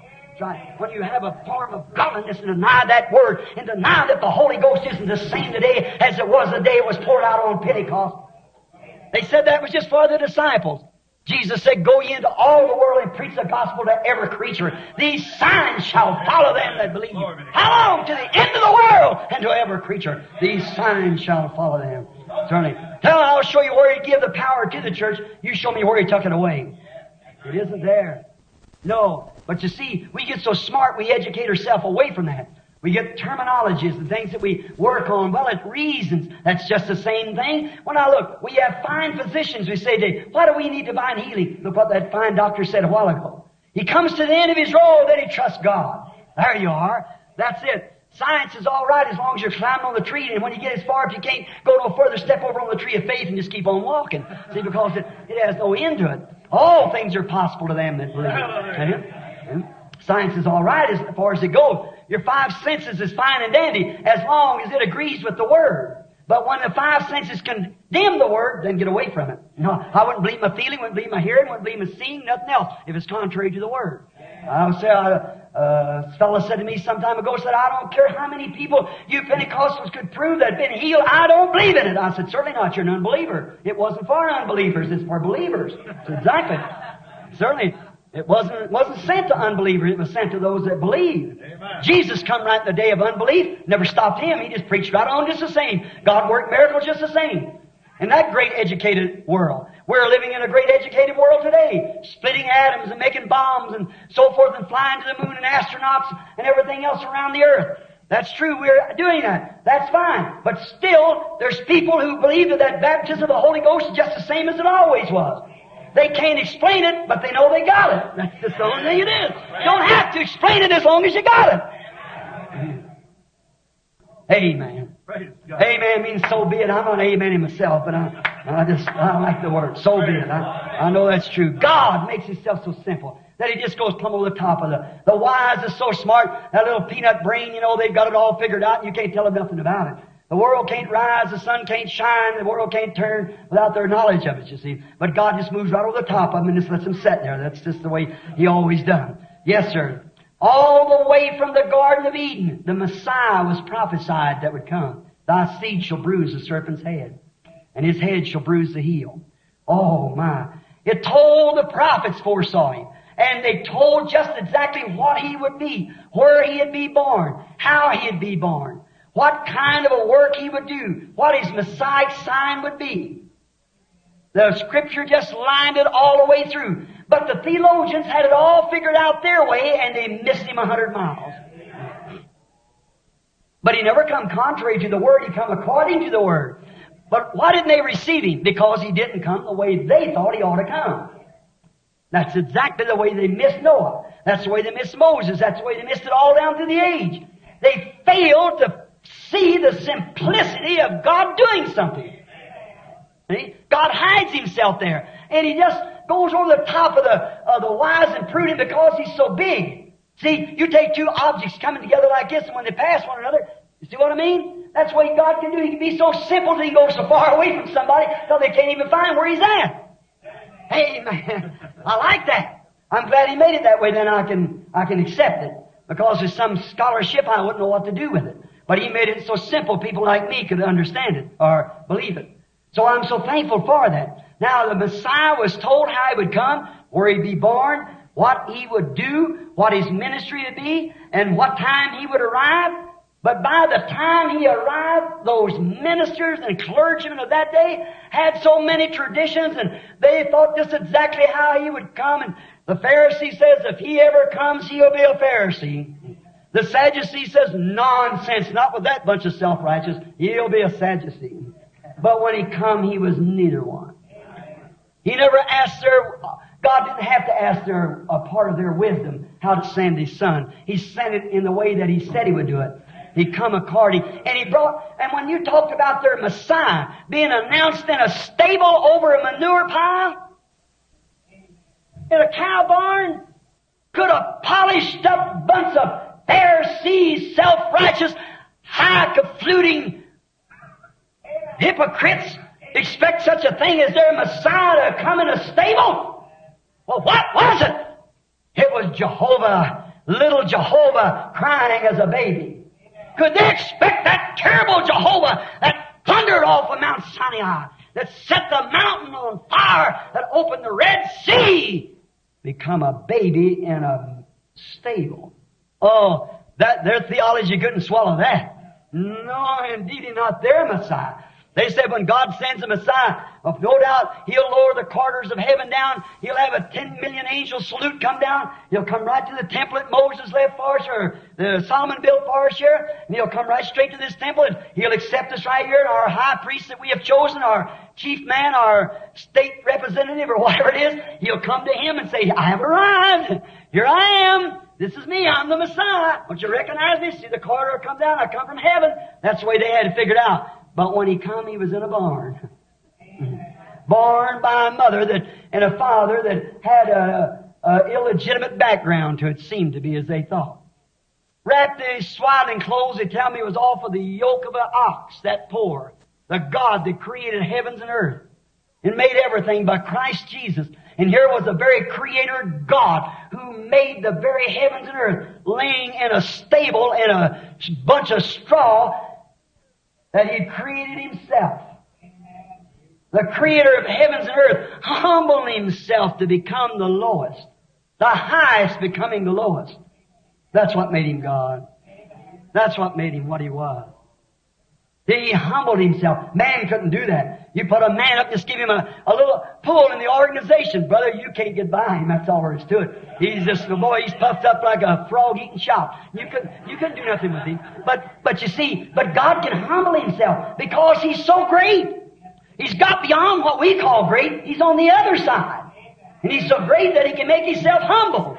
I thank thee, Father of heavens and earth, that thou hast hid these things from the wise and prudent. As I said, we split an atom and can't explain the life in a blade of grass. See? Walk over it. The very thing that declares God. We walk over the top of it. That's the same thing we do today. Yes, sir. Walk over the top of this which is God in letter form. That's right. And accept some man's creed or dogma instead of it. Selling your birthrights for a mess of pottage for a popularity, for a church that'll let you wear bobbed hair and shorts and send you to cocktail parties and things like that, and then call yourself a Christian. Shame on you! Right? Not scolding you, but, but through godly respects and love. That's right. Get away from such a thing as that. Come back to God and His Bible. Come back to the gospel truth. Yeah, let some organization wrap you away from the things of God, but you never do that. You come back to God's simple way. Just fall on your knees and say, Lord God, I don't care what, how you give it to me, but I'm here for it. Watch what happens. Be sincere about it. You're more anxious to give it to you than you are to receive it. You don't have to tarry and tarry and tarry. There's no such a thing. While Peter yet spake these words, the Holy Ghost fell on that. The trouble is we don't want it enough. We're not, we don't want to humble ourselves. Right. I was preaching here not long ago and there's a lady got real happy she got to shouting. There's a boy that plays baseball in the city. He said, Billy, I was standing on the outside, couldn't get in. He said, I was enjoying your message so that, that woman started crying and going on like that. And he said, all them people then started screaming and carrying on. He said, that just run cold chills over my back. Well, I said, you didn't believe that? He said, no. I said, if they didn't do it, it'd run cold chills over my back, see. I thought I wouldn't know where I was talking, what I was talking about, see. And so he said, uh, he was a baseball fiend. And I changed, he said, well, who in the world ever heard of such a thing as that belonged to the same organization church that I come out of? And he said, well, I was, your message is all right what you're talking about, but who could hear you? I said, wasn't about here then. The Holy Ghost was there. He done took over. See? I said, time me shut up when he come. See? And he got amongst the people. He said, oh, Billy. He said, you're just a fanatic, that's all. I said, mm, well, maybe I am. I said, if I am, I'm one of the happiest fanatics you ever seen. He said, and I said, I, he said, well, I want to tell you. And I got to talk to him. I said, say, the, the baseball park's not far from the house. I said, what in the world was that taking place over there the other night? He said, you ought to have seen it. Said, you know Charles Nolan? I said, three man on base, and he just got all excited. I said, well, you bunch of unholy rollers, I never heard such a noise in my life. I said, if I'd been there, I wouldn't have said very much about it. I just stood and looked. He said, you're not, you don't care for baseball very much. I said, certainly not. I said, I don't care for baseball. Therefore, I'm not interested in it. And I said, if I'd been interested in it, I've been acting the same way you do. And if you was interested in my God, in the coming of the Lord Jesus and the power of God, you would act the same way when the Holy Ghost strikes into a building. What kind of a spirit is in you? What you're feeding on. Your life is feeding on something. And I said, don't be a vulture, eating the dead carcasses of the old, a carrion of the earth. Feed on the heavenly things, the Word of God. Jesus said, man shall not live by bread alone, but by every word that proceeds out of the mouth of God. Feed upon His Word. Therefore, when Jesus come, they had it so figured out till they had Him so great, they couldn't see how a great person like this could ever be born in a stable. They couldn't see how a great person like that could ever be so simple. That's the same thing today. The people think that religion, Christian religion, has to have a great big church. Great big building. Great big million dollar pipe organ. Fine plush pews. Did, was you ever in Ireland? Did you ever notice St. Patrick, who you Catholics call a Catholic? He is just about as much as I am. So, did you ever go up there? He wouldn't even have a crucifix hanging in his place. He protested the Roman church as hard as he could. He wouldn't even let the people sit down. He let them squat down on a piece of uh, old board, or not board, but uh, rock in the in the building. His building still stands there. He taught them the baptism of the Holy Ghost. Saint um, Francis and Saint uh, those great early uh, reformers and man back in those days, how they taught the baptism of the Holy Ghost. How Saint Martin, Irenaeus, those great men taught the baptism of the Holy Ghost. They wouldn't let their people be comfortable and sit around in plush and things like we do today. And yet we call that a prosperous church. Man calls prosperity sometimes religion. It was said in California that a man's not spiritual until he can own three Cadillacs. To my opinion, that's when he gets away from God. That's right. The Pentecostal church today is certainly acting different than what the early Pentecostal church did. I was speaking to the Christian businessman one time down there. I don't know how they ever had me back. I guess because they love me. But I, I, I don't, I tell them this when I, I know the Lord says. I don't say it to be smart. If I do, I need to be down there at the altar. I say it because I love them. I respect them. One night down there testifying before businessmen of the world how many Cadillacs they have what their little business. I said, them men don't want that. Tell them about the humility of Christ. And I said, you're so much different from the early Pentecostal church. They sold everything they had and gave to the poor and went out preaching the gospel. And I said, you people trying to say how much you prospered and how much you got. Not how much you got, how much you can get rid of. I thought that fellow last night speaking of the same thing. Now, a certain little Pentecostal brother from Chicago raised up. He said, Brother Branham, I'd like to call your hand. I said, call it. And he said, that's where the church made the mistake. I said, the Holy Spirit make a mistake? It can't. He said, it did there. See, when the persecution rose, they didn't have any home to go to. I said, exactly the will of God. Then they went everywhere scattering the gospel because they had no other place to go. You can't be God. Yes, sir. God just sold everything out from under them so they didn't have no place to go and they just went preaching everywhere. The only way God could get them to go. But today we like to smother down, you know, and we sit comfortably. And if the pastor says anything we don't like in the assemblies, then we move over to the ones. When he says anything we don't like, well, finally we'll wind up in the Baptist or Presbyterian or somewhere where we can do anything we want to. That's, that's what, that's us. And they call ourselves Christian. You want some, you vote for your pastor, a lot of your church, and when you do, you want the highest polished scholar so you can tell the neighbors, our pastor has a, a doctor's degree, our doctor so and so. Oh, My, you're, you're getting away from God. Your God reveals Himself in simplicity. Listen, that was too much for them high scholarly education, educated people of that day. God hiding Himself in simplicity in a little baby. Watch, when they crucified Him, oh, that hit the nail. 1900 years ago this afternoon, they crucified the Prince of Life. When them high priests who had wondered when they'd see him doing the miracles that he did and know that he condemned their organizations, he stripped them down, he shook the hide off of them, and he told them they were nothing but a bunch of devils and to repent. And they go, God's able these stones, said John, to rise children of Abraham. Don't think you're the God's children because you're born a Jew. And so more. He said, call them there, uh, snakes in the grass and everything. Then when he stood there on the cross, they said, now, if you are the Son of God, if you be the Son of God, won't you come down off the cross and we'll believe you. See, the same things, when they could think of this man doing a miracle, then they couldn't deny that. But to see him standing there, the very God of creation. Now, I know this modern trend today try to make him some other person. But he was no other person but God himself. Right.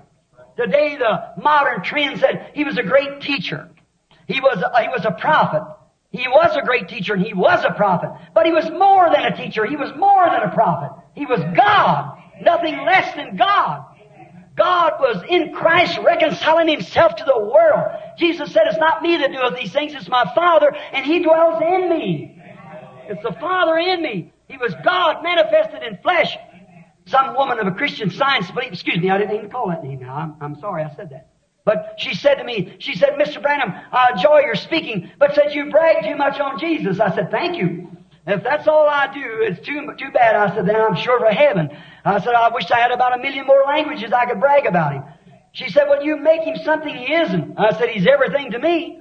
And she said, well, now I can prove to you, you make him God. I said, he was God. If he wasn't God, he's the greatest deceiver the world's ever had. I said he was God. He's nothing short of God. His own blood was God. We are saved by the blood of God. He wasn't Jew, neither was he Gentile. The male sex produces the hemoglobin. Doctor knows that. A hen can lay an egg, but if she hasn't been with the male bird, it won't hatch. It's not fertile. That's right. See, it's got the blood cell comes from the male sex. And in this case, Jehovah God was a male. He created a blood cell in Mary. And you Catholic people call her the mother of God. How could she be a mother of God and God's infinite and eternal? She wasn't no mother of God. She was an incubator that God used to bring His Son here. Certainly. But said she was egg? No, sir. She had, she had to have a sensation. Then look what you make God. He was absolutely the creating God.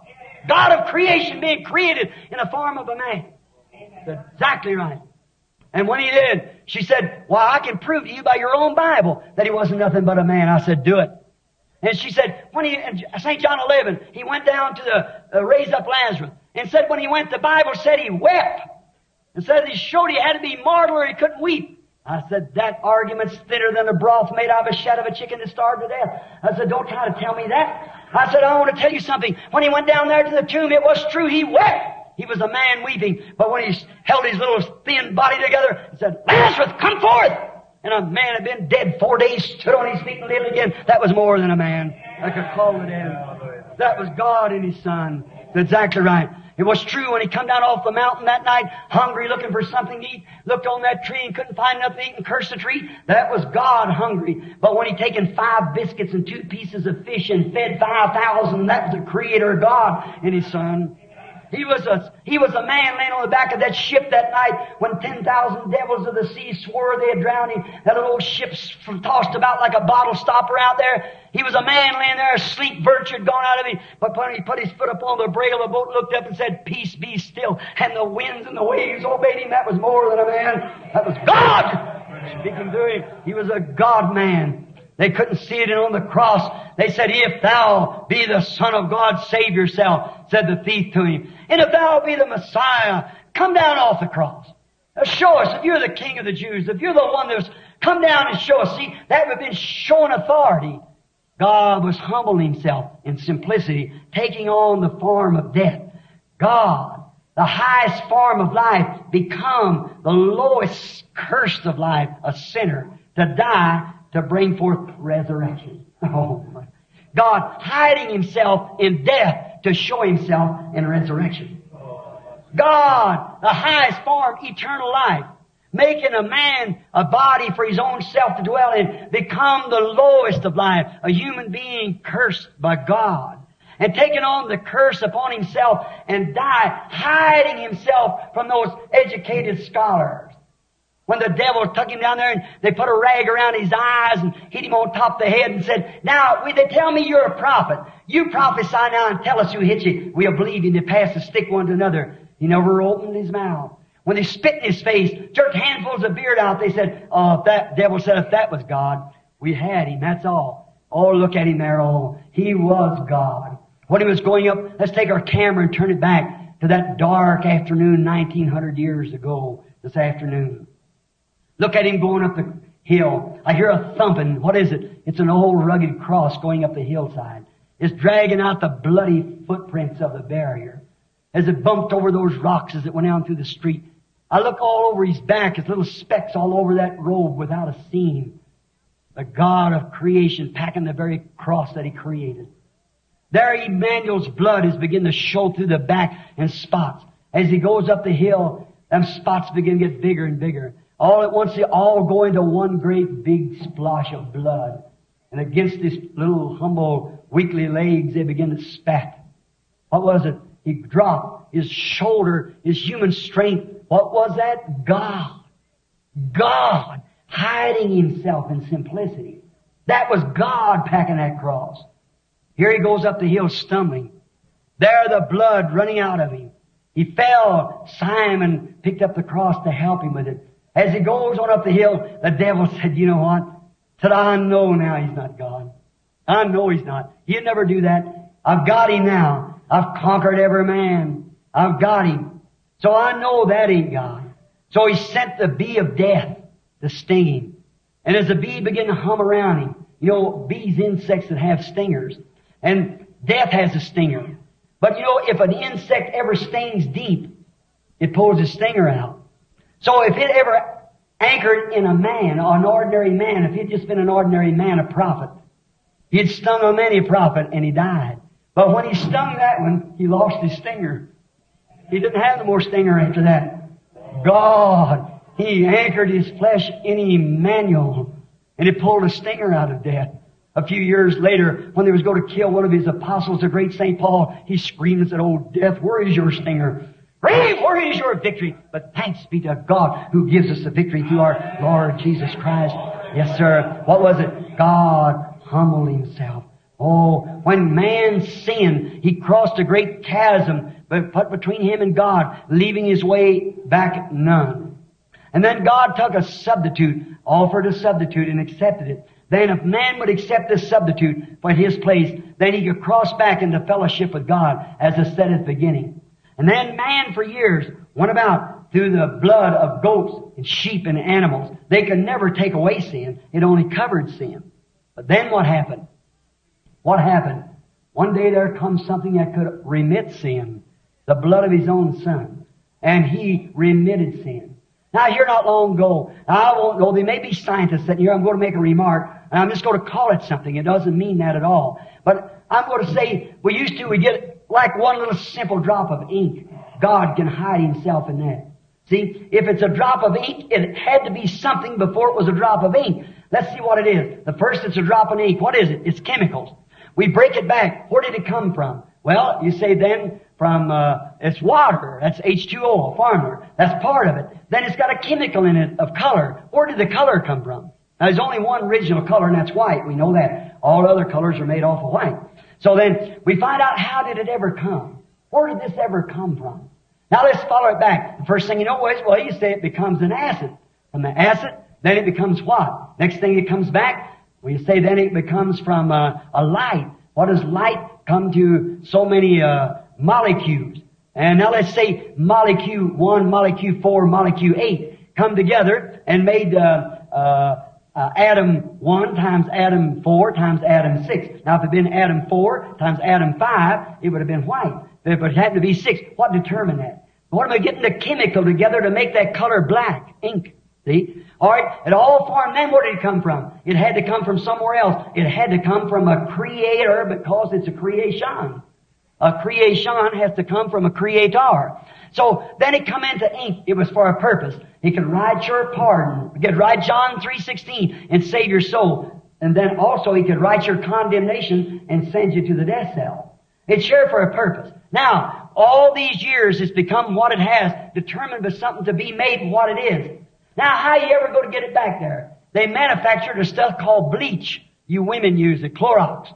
Now I've got a tub of Clorox sitting here, and I've dropped that drop of ink into that bu- bucket of Clorox. Now find your color. What happened to it? What happened?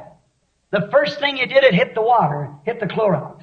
That chemical was so great till it sent all the way back. You can't see any fumes of it or nothing else. It's gone. It'll never be no more. Because it's turned back to the original place to where it come from.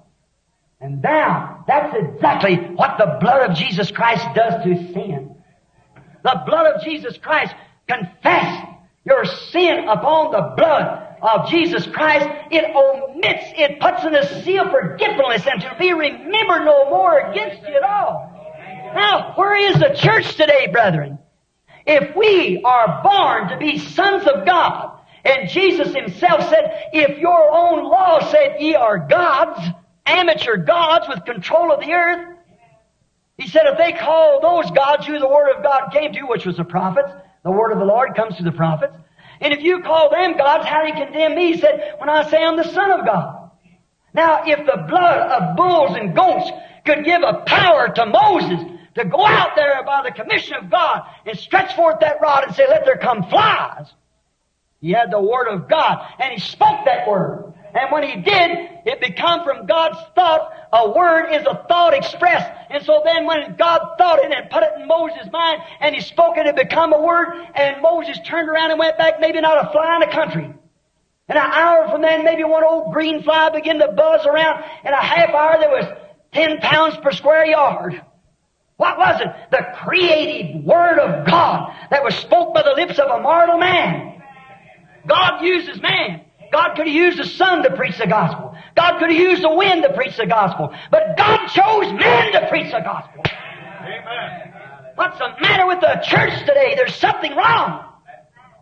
My opinion, we're not coming with that sincerity to the right thing. For that, if God could do that by the blood of bo- go- goats and bulls that only covers sin and made a propitiation for the sinner, but the sin was still there, only covered over. What can He do through the blood of His Son that omits sin and God has not manufactured, but He created a blood that takes away all sin. And Mark 11, 24, whatever you say to this mountain, move and don't doubt your heart, but believe that what you've said will come to pass. You can have what you've said. Where's the Pentecostal church at today? Amen. You don't realize that confess, truly confess sin. Omit sin. If there's no omit to it, it builds a bridge across this chasm that takes man back in the presence of his Creator and makes him a son of God. Amen. He that believeth on me, the works that I do shall he do also. Amen. There you are. Verily I say unto you, if you say to this mountain, be moved, and don't doubt in your heart, but believe that what you've said will come to pass, you can have what you said. Glory to God. Now God revealing Himself in humility. See, God taking a humble sinner and cleansing him by His blood and dropping that confessed sin into that Clorox bleach of the blood of Son of God and putting His own life into that man by the baptism of the Holy Ghost. Then if we have the genuine baptism of the Holy Ghost, what's wrong with us? When the type, when Elijah dropped the robe for Elisha, he got a double portion of it. Jesus said, the works that I do, you shall do also, and greater than this shall you do, for I go unto my Father. What's wrong, church? Now you call us a Beelzebub of visions and things like that. Get off of my back. Brother, get down to the cross. Get to the gospel. We don't have to impersonate. Why would you take an impersonation? Why would you take some false conception of it when the skies are full of genuine Pentecostal power that makes a man or a woman a son or daughter of God that takes him back in the presence of God? Amen. There you are. God revealing Himself in humility. You've got to get away from your own thoughts. You've got to let the mind that was in Christ be in you. You've got to stay there till every sin of fear, every sin of doubt has gone from your heart. And if you're there, if God doesn't take you and omit your sins and send you into the presence of God, there's something wrong with your experience. I don't care how many degrees of doctor you have, how much big church you are, what kind of a big wheel you belong to, how many organizations or whatever it is, has nothing to do with it until your sins are confessed and in the blood of Jesus Christ you stand unadulterated, a born again son and daughter of God with a life of God in you. To speak a word of creation, let this mountain be moved, and it'll mind you. Amen. God revealing Himself in humility. He picks up them kind that has no education. He picks up them kinds who'll just believe that. I thank Thee, Father, Creator of heavens and earth. Thou hast hid these things from the wise and prudent. Smitten and stricken, and yet we did esteem Him smitten and stricken, sure of God, but He was wounded for our transgressions. The Clorox came. He was bruised for our iniquities. The chastisement of our peace is upon Him, and with His stripes we were healed. What did he do? Humble himself to death on Good Friday afternoon that he might rise on Easter Sunday. Amen. To send back the Holy Spirit upon the church with a double portion of it that we might do the same things that he do, that he did. He promised these signs will follow them that believe. And how far we get away from him by our traditions. There you are. God hiding himself humility, revealing himself in power. That's the way God does it. That's God's program of doing it. Yes, sir. He may bring sons across this chasm. In closing, I might say this. God hiding in death, they'll come again in resurrection. I want to tell you a little story that I read not long ago in closing. It said in time of the First World War, I had my father's older brothers, my cousins was in that war. Many of them got killed. But in one place there, they had a, a whole regiment of soldiers, American soldiers, pinned down. The German army had them pinned down. And the machine gun fire and the big cannons and whatever they had, mortar fire, whatever it was, had them pinned down. They couldn't get out. And there's no way of getting out. There's a whole regiment of soldiers perishing right there because it's on every side. They had planes, Darrison Sam went up to shoot it down. A man tried to get out, well, this is every side. There wasn't nothing. Their fine guns had failed. Their, all their military strategy had failed. They were pinned in by the enemy. There was no way of getting out. There wasn't nothing. And finally, one little soldier come up. He found a pigeon, one of those Homer pigeons. That was their only hope. They wrote a message and thought if this pigeon can only get through and back to the main headquarters where it come from, can take this message, a message pigeon, messenger pigeon, and that's the only thing they had, a simple little pigeon. All the military things had failed, but they got a simple little pigeon. They wrote the message and tied it to his little leg and turned him loose with a blessing and a prayer that he'd make it. Of course, the Germans seen that white pigeon going up. They fired on it and everything else. One bullet went through its wing, knocked the feathers out. Another stripped around its neck, cut its craw. off. Another one struck its leg. It had the message on it. But the little pigeon kept flying, trying to get the message in. He must. There was life at stake.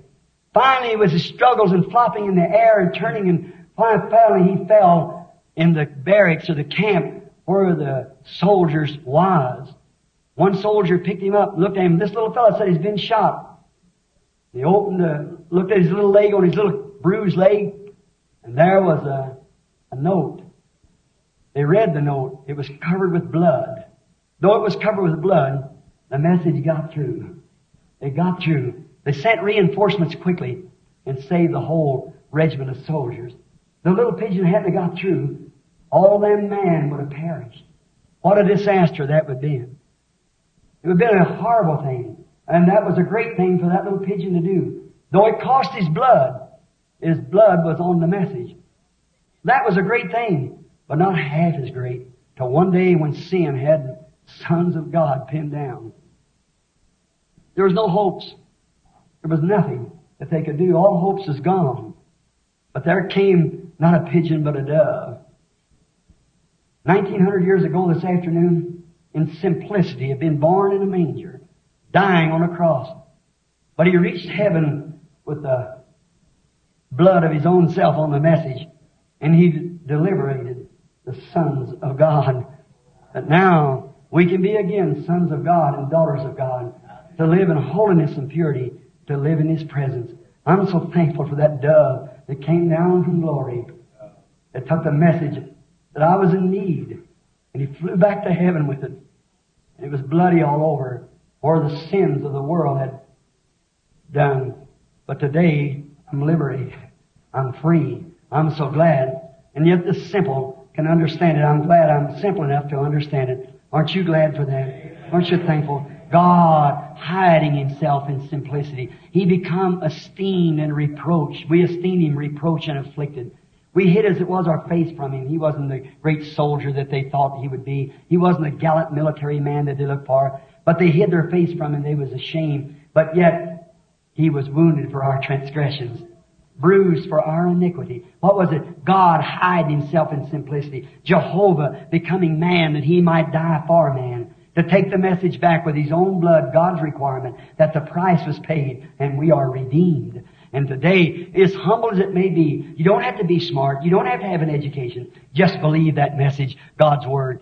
And you too can be saved and be a son of God to stand in the presence of God and do the works of God. Let us bow our heads just a moment while we ask God's blessings on these things. I want to ask you something. Today, as radio as went on, papers, I seen a paper this morning where they was going through an act of man packing a cross. They have all kinds of things. On Easter morning, the whole church will be decorated with lilies. The altars will be filled with lilies. The Easter rabbit taking the place, the chickens. I wonder what that has to do with Easter. A rabbit. An unclean animal in the sight of God that is even forbidden to eat them or touch them in the Bible time. And the chicken, same thing. Ducks. But yet it took the place of the resurrection. Santa Claus took the place of Christmas. Oh my, what's the world come to, friend? Where are we at? You see where we're going? We're headed right straight towards the pit. That's right. We're pinned down by sin and creeds and dogmas. But a messenger got through 1900 years ago this afternoon. The requirement was reached. God's Son, made in the likeness of sinful flesh, born in a manger. No beauty that we should desire him. He was a man of reproach. We didn't desire him. We hid our faces from him. We still do the same thing today. You say, I wouldn't have done it. Oh, your attitude today proves you would have done it. You're doing it now. Won't you take your way with humility? Say, Lord God, I don't care what it costs me. I don't care what it is. I'm finished with sin. I don't, I don't say you're bad. I don't say you smoke, drink, or anything. But you don't believe the Word. If you believe the Word, say, Lord, I don't care what it costs me. If it costs me my denomination, if it costs me my sewing party, if it costs me my club, if it costs me my popularity amongst my friends, I don't care what it costs. I'm going to accept the message of Calvary. I'm going to be humble. I'm going to humble myself from this time on. I know if I let my hair grow out the women, they'll call me old fashioned. I don't care what they call me. I'm going to be a lady. They tell me I look like I'm pale and dead. I am dead in Christ. I'm going to do it. Man, I don't care how much dogma and creed that they've tried to poke into me. From now on, I'm accepting God's humble message. I'm going to believe it. I'm going to stay there till my sins are gone. I'm going to stay there till the Holy Spirit uh, pours into me faith for every word of God that's written. He promised it to me. And if I'm got that chasm across that bridge by His righteous blood, then I can stand as a son of God. I believe the whole gospel. I'm going to do it. Would you like to do that? Would you like to make that consecration just now? If you would, raise up your hand to God and say, Remember me, Brother Branham, as you pray. I want God to do it. God bless you. That's right. All right. Each sees your hand. Our Heavenly Father, the humility, humbleness of believing you, how you reveal yourself in humility, how that we find out in these days and all days that the church will get itself in that condition. Then you'll stoop right down into the gutter from nowhere and pick up something, anoint it, send it out, and it'll be rejected. Then judge the world by it. God, we see today that for 50 years, the precious Holy Spirit, who the people has tried to accept through dogmas, and yet you brought it out in its power and its manifestation. A poor, humble bunch of kicked out, despised people accepted it, believed it. You've magnified yourself in them, Lord. And now we see them in another generation trying to become grandchildren to God. Oh God, what a horrible thing. May men and women flee quickly to the humility of believing the gospel. Grant it, Lord. Many hands went up here tonight. Many men and women. Lord God, I pray that you'll bless them. I pray that this very night will find the peace of God in each one of their hearts.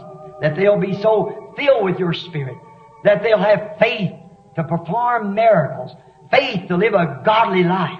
To live a life so sweet that when they're spoke evil of, they speak not back evil. Uh, that they can return a kiss for a slap. That they can return good for evil. Grant it, Lord.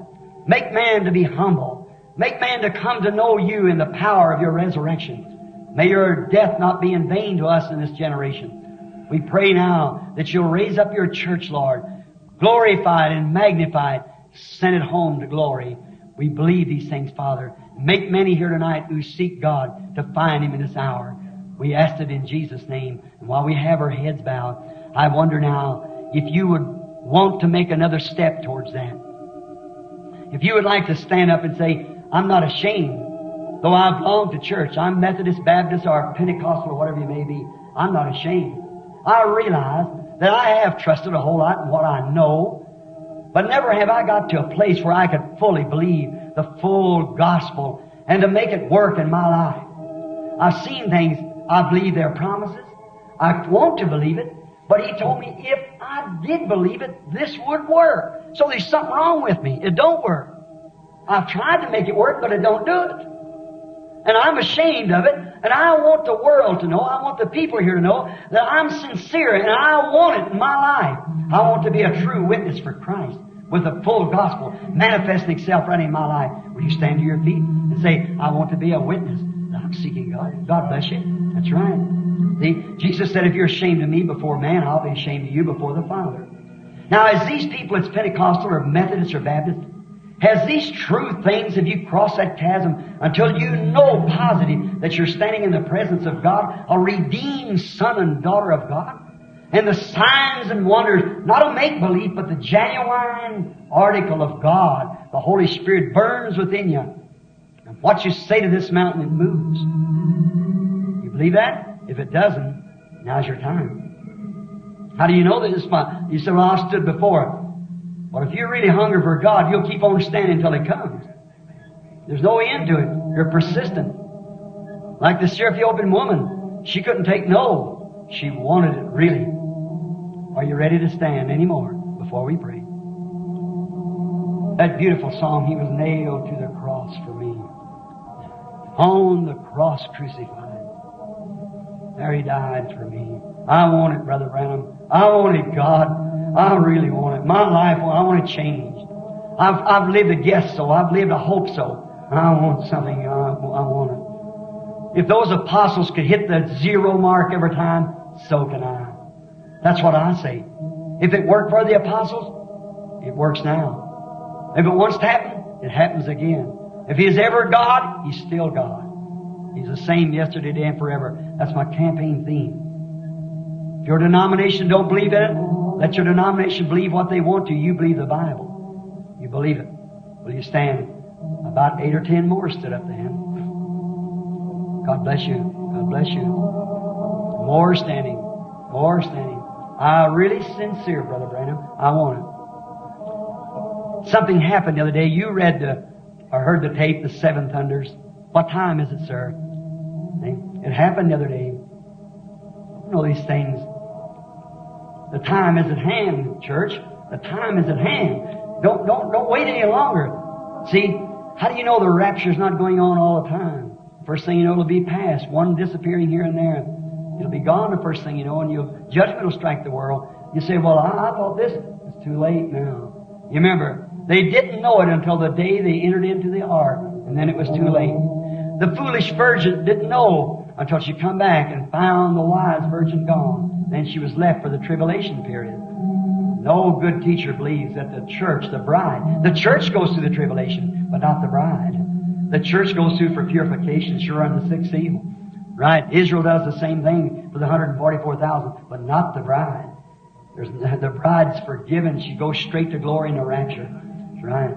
She's, my opinion, the last member will be caught up one of these days. It might come and you will know nothing about it. Remember, it's a secret, secret catching away. There'll come an hour that you think not. You won't know nothing about it. She'll be gone. Be too late then. You say, I wished I would have stood. If you ever intended to make a stand, let this meeting in Albuquerque, let this be the time that you made the stand. Now, if you really feel secured by Christ, you feel that you have got the Holy Spirit and the blood of Jesus Christ, all the signs and promises is at your command. And you see them manifested and working in your life, and you know they're true. If you sit there like that and you believe it, I'll take your word for it. That's up to you. If you don't, you should be on your feet. But if you believe that and know that those signs and wonders that Jesus, the vindication of the Messiah, speaks to you, if it isn't, then you should be on your feet. God bless you. Right. I'm a stranger to many of you. Many of you has regarded me to be a seer. I've said nothing about that. You know that. I've kept that's not the hour yet. But you believe me now. You believe me as God's servant. Have I ever told you anything in the name of the Lord but what come to pass? If it's so, say amen. It's never failed by the thousands of things. Never one time but what it's been true. You know that. The world around. Though you disagree with me. Many in theology. And I'm not a theologian. I only speak what I hear. And then when I hear it, I look at the Bible. If it ain't according to the Bible, I wouldn't receive it. But not one time has it ever been contrary to the Word, but with the Word. That's the reason it's confirmed. God vindicates. Now, you hear me then. If you believe me to be a, a messenger sent from Christ to you, you believe me. If you're not in the kingdom of God, you better press right quick. It will not get better it will grow worse all the time. I just mark that down. Just remember, see whether that's right or wrong. You see if it's going to be right or wrong. It's not going to get better, it's going to get worse. It's going to get harder all the time. The revival is gone. You're only gleaning in the fields. She's over. Now you say, I disagree with that. Fine. It's okay. If you do, that's all right. That's my conviction. That's my hearing from heaven. I believe the Laodicean age is the Pentecostal age where she comes to the place of lukewarm. And God spews her from His mouth. And there's where she's come right now. The Pentecostal movement has come to that place. Lukewarm. Not red hot. Not ice cold. You're not cold and formal. Neither are you hot. You're in the spewing stage. And you're going. Jesus, the only age, he stood on the outside of the church. Their dogmas that put him out. Knocking, trying to get back in the door. Lo, I stand at the door and knock, if any man will hear my voice. I'm glad you've heard tonight. Now, I can only ask you to stand. He's looking at you. Jesus said that wherever two or three are assembled in my name, there I am in the midst of them. If that isn't so, there's no God. There's no Bible. There's no sunrise. There's no sunset. There's no flowers. There's no tree. You're really not here. You're in a dream. Life is not real. You're not a human being. So it's impossible for that to be. So it's impossible for him not to be here. And if you'll ask anything in my name, faith believing, he'll grant it to you. Now that's you now. You stood for a witness that you wanted. Now in your own way, the way that you pray, the way that you want to, I want you to say, Lord God, in your heart. Now don't pay any attention. The, the, the campaign here will give you plenty of time for this. All the time you want. Now in your own way, in your own way, now I know it's customary that one man stands, the other stands, the other kneels down this way. But whatever way you want to, I don't care what it is. Don't say, Lord, let me do this, let me do that. Just say, Lord, fill me. Fill me with the Holy Spirit. I'm sincere in this. I mean it. Now, if you do mean it, it's got to come. It's impossible for it not. He promised it. And He's trying to press into your heart. The only thing, you just open a little bit and say, come on the inside and stand here, but don't go around fooling my private life. See? He wants you. He wants all you are. He wants every compartment in your heart. He wants your private life. He wants all your life. He wants to be your Lord, Lord's ownership. He wants to own you so He can guide you, direct you, take you, use you. Are you willing to do that? If you are, He's wanting to come in or you wouldn't be standing there. See? So now is the hour for you to receive it.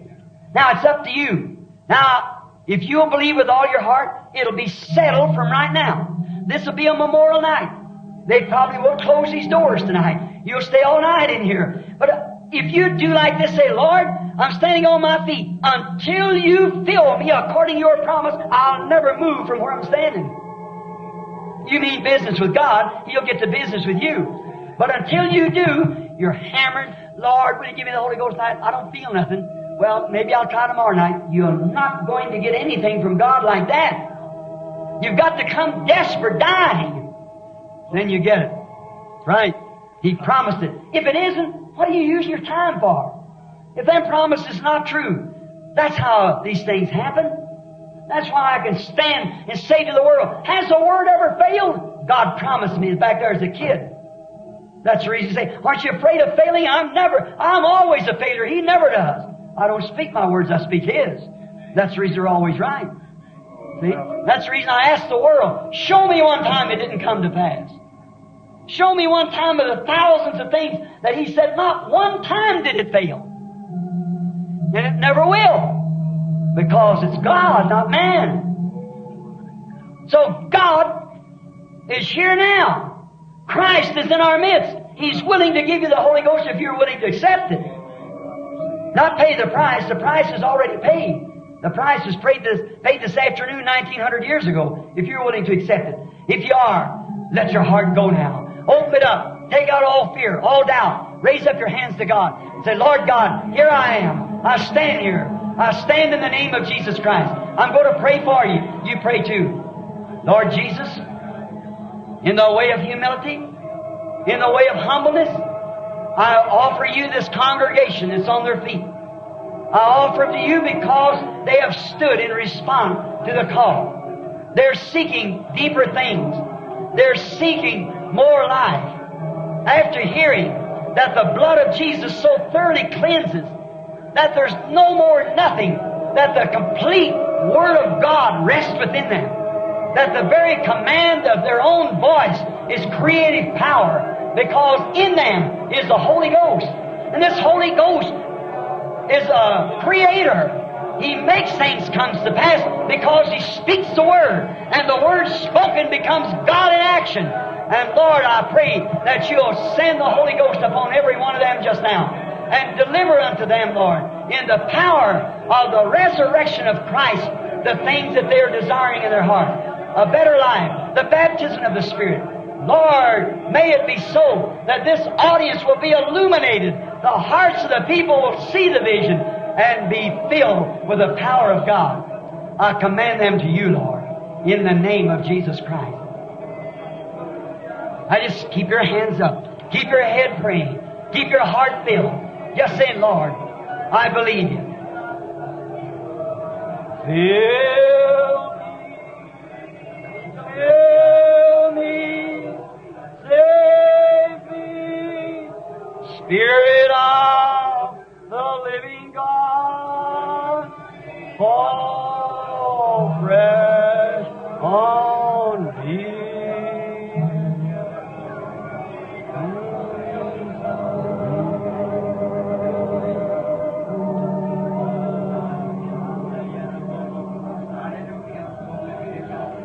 Bring your song here, here, not leave the song. Fall fresh on me, Holy Spirit. Just keep it. Don't, care. I'm going to stand right here, Lord. I'm on your hand, like the unjust judge. I'm right here.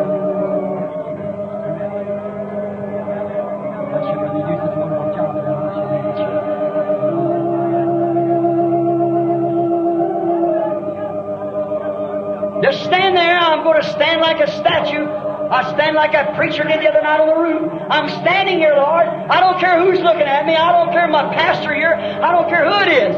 I'm here. I'm looking for something. I want something to happen to me. You promised it. I'm here to receive it. If it'll work for others, it's going to work for me. I'm here to receive it. I'm not going to sit down. I'm determined.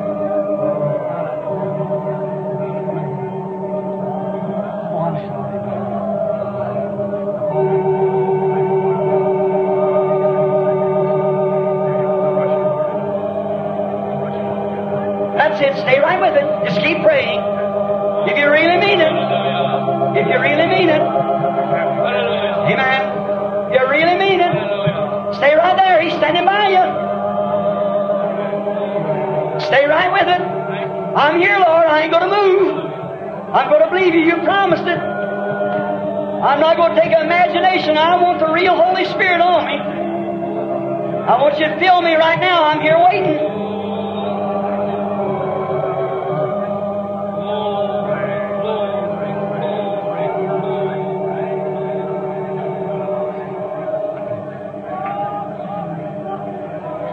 Don't stop. Just keep praying. Don't the trouble of today. We listen to music, we listen to one thing another. We're supposed to be listening for the voice of God.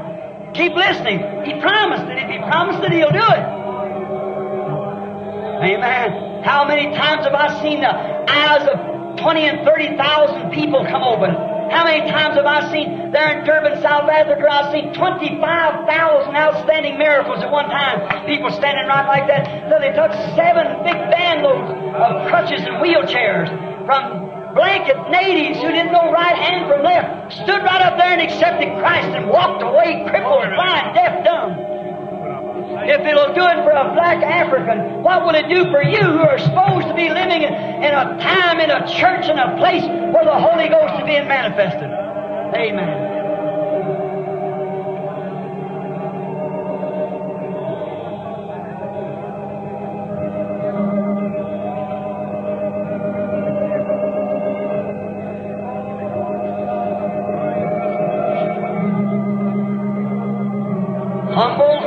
Yourself, Lord. I'm believing. I know it. I'm, you prom- now, there's something wrong. Uh, There's nothing wrong with God. God promised it. So help me. I can stand right here and go down aisle after aisle and tell you everyone where you're at and what you've done. I say that in the name of the Lord Jesus. You know that's true. And I see you're afraid to turn yourself loose. You're scared of something. There's something wrong. God don't make a promise and go back on it. It's the truth. Right here. If you want it, it's up to you. It's your death. It's your burial. It's your exception. There's the word. So help me the Holy Spirit here. So help me Jesus Christ is in here. Have I ever told you anything wrong? He's here. But there's something I stand there watching that. See that light circling across the building here, all just back and forth. There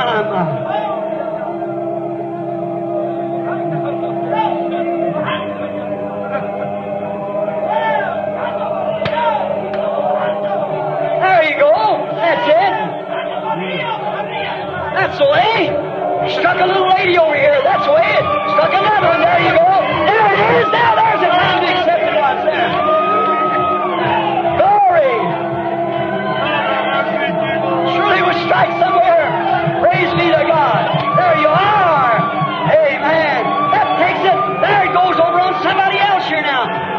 Another, another. Praise the Lord. See, He's truth. He's the way, the truth, the light. Life. Accept it while it's falling on others, while it's on others. Accept it. It's going all around, around, around the place. The Holy Spirit. I'm not excited. I'm telling you the truth.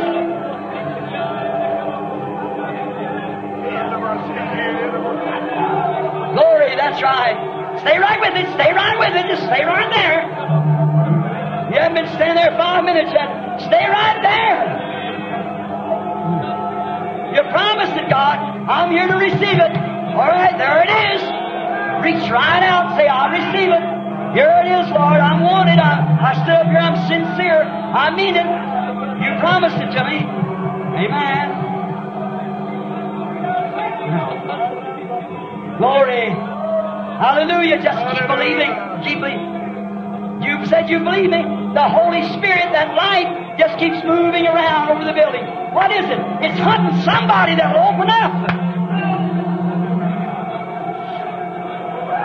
I'll tell the truth.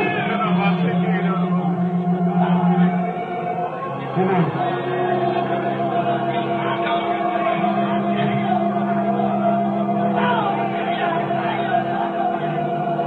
Raising up your hands and praising Him, saying, Lord, I thank you. You give me the promise. I'm going to hold to the promise. I thank you, Lord. Thank you. I, I'm looking right at it.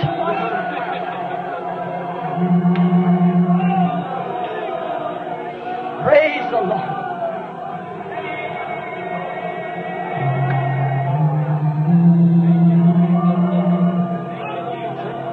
Stay right with us. Stay there, Lord. I'm going to stay right here. I don't care if it's in the morning. I'll be standing right here praising you. I know you're going to send it. Uh, this convention's ending tonight, and I'm here without the Holy Ghost. I'm going away from here filled with the Holy Ghost. So help me. You promised it. I'll stand like a weather vane. I'll do anything you want me to do. Only I want the Holy Ghost. I'm determined to get it. When you surrender fully, He'll come in fully. But until you surrender, He can't come in fully. Surrender. Surrender your thoughts. Surrender your thinking. Surrender your life. Surrender your all. Surrender your prestige. Surrender everything to Him now, and He'll come in and fill you with the Holy Ghost. That's what He's sure to do. He's already struck two or three here in the building. It's more than that wanting the Holy Ghost. Just keep believing.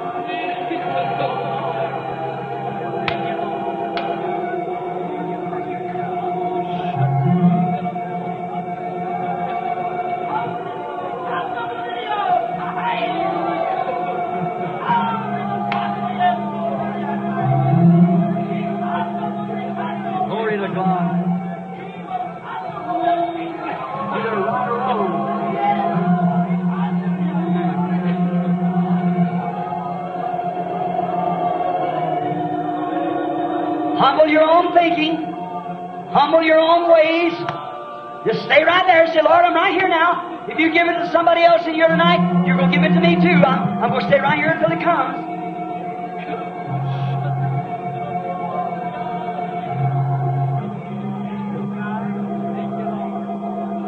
As you lift your voice, your arms, your life, your can hear my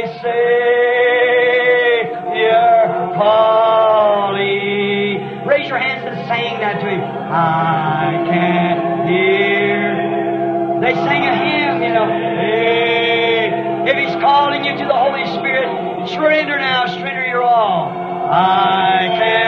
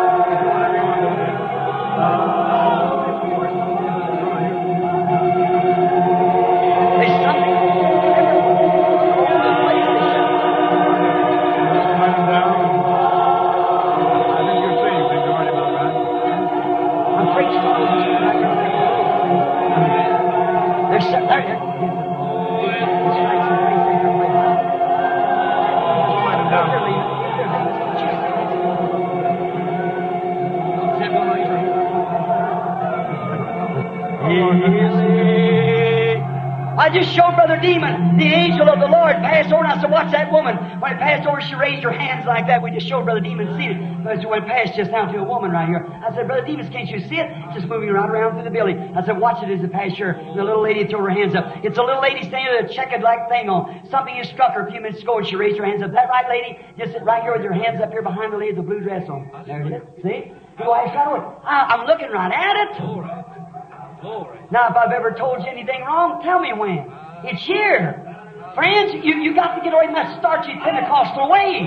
You've got to really die. You've got to really mean it. You, you got something, you got a partial hunger, but not a real hunger. You've got to make it genuine. While Peter spake these words, the Holy Ghost fell on them and heard. Try closing your eyes and, and bowing your head. Think it over. Is there something wrong? Lord, take away my unbelief.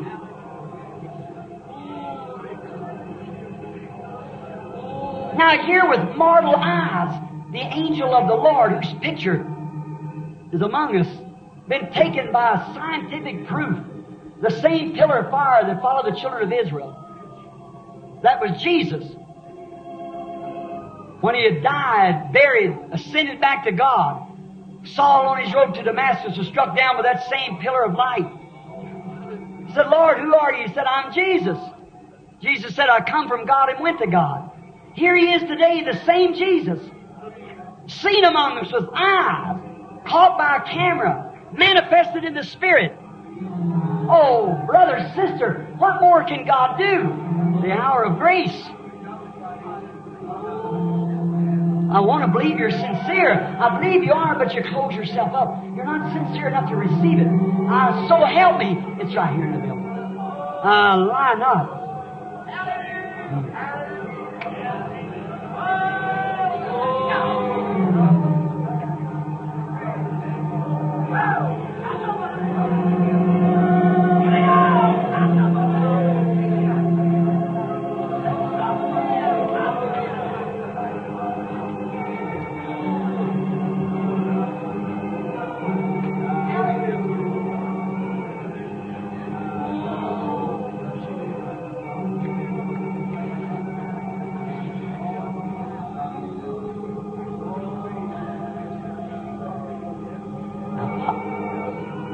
Quieting yourself just a moment, has anybody in here felt they, re- did receive the Holy Spirit? Wave, wave your hand back and forth. I see it all around over the people. Bless, bless. Lord, let bless. Amen. Two, that's three. All right. Four. All right. There's four received the Holy Ghost during that shower. Four people received the Holy Spirit during that time. Praise, praise the Lord. Uh, just a few moments ago, it was traveling a light. Come from over this way, come back this way, went over here and come back again. I said to Brother Shakir, come here, come here. Come here. Mm-hmm. Here, see, coming right here, I watch it as it passes over. There's a little lady there. It just as I said, right over that little lady, and about that time she threw her hands up again screaming. There it was. See? Just passed right over, went right over in that corner, come right back around this way. I don't see it now. See? That's actually the truth. I tell you the truth. See? And here it is. See? Four receive the baptism of the Holy Ghost. Now, if you want it, it's yours. It's yours if you're willing to just open up. Now you, you have a, a, a conception of what you should do. You have kind of an idea, well now, if I'll stand up here, this, no, no, that, that doesn't, you can sit down, don't make any difference where you're at, but where you will open yourself up.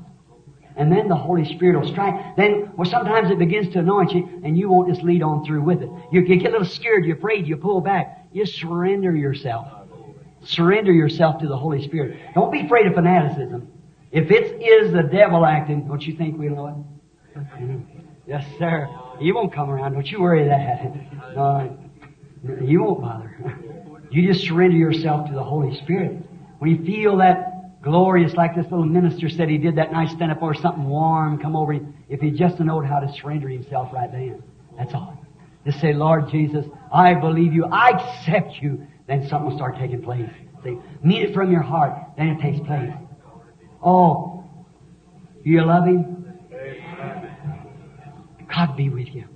God help you. I want you. How many more in here wants the Holy Ghost? Let's see your hand. One, two, three, four. Oh, my, my. No need to go on without it. There's eight or ten here, eleven, about eleven, twelve maybe, in here needs the Holy Ghost yet. I know we may be running a little late, maybe nine thirty or, or something like that, but we got we got plenty time. We just got plenty of time. We want you saved, friend. We want you filled. Remember, you are you are saved. Of course, when you accept Christ, you're saved, but you're not converted until you receive the Holy Ghost. Now you know that. That's right. Jesus told Peter the night of the betrayal, he is already saved, So now after you are converted, strengthen your brother. That's right. Well, sure. You accepted Christ as your Savior, but when you're converted, it's when you're really changed. That's right. And he wasn't changed yet. He cursed before the Lord and denied him and everything. But after his conversion, after thou art converted, strengthen your brother. That's right. Is that right? That's what the scripture says anyhow. that makes it right.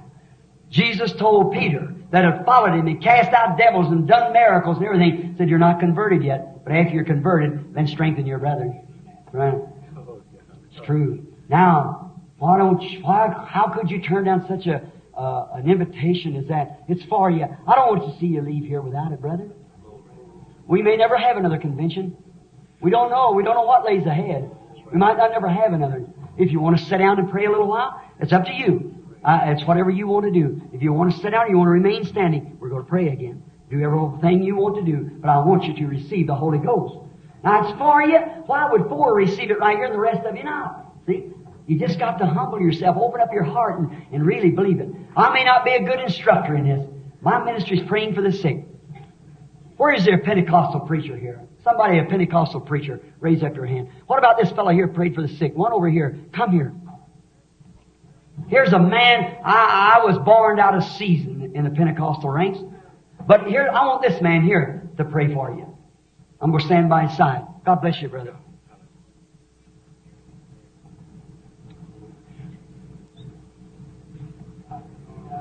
If you would,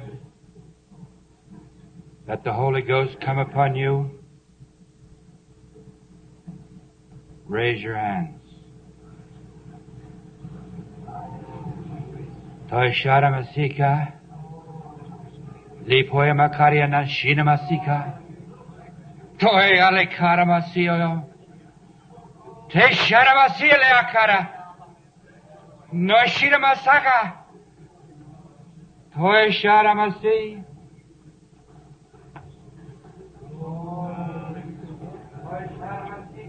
Be reverent now. He's gone down to lay hands on someone. Just be real reverent. Don't don't look around. Keep looking up. Looking up. Looking up. We'll keep praying. Keep praying.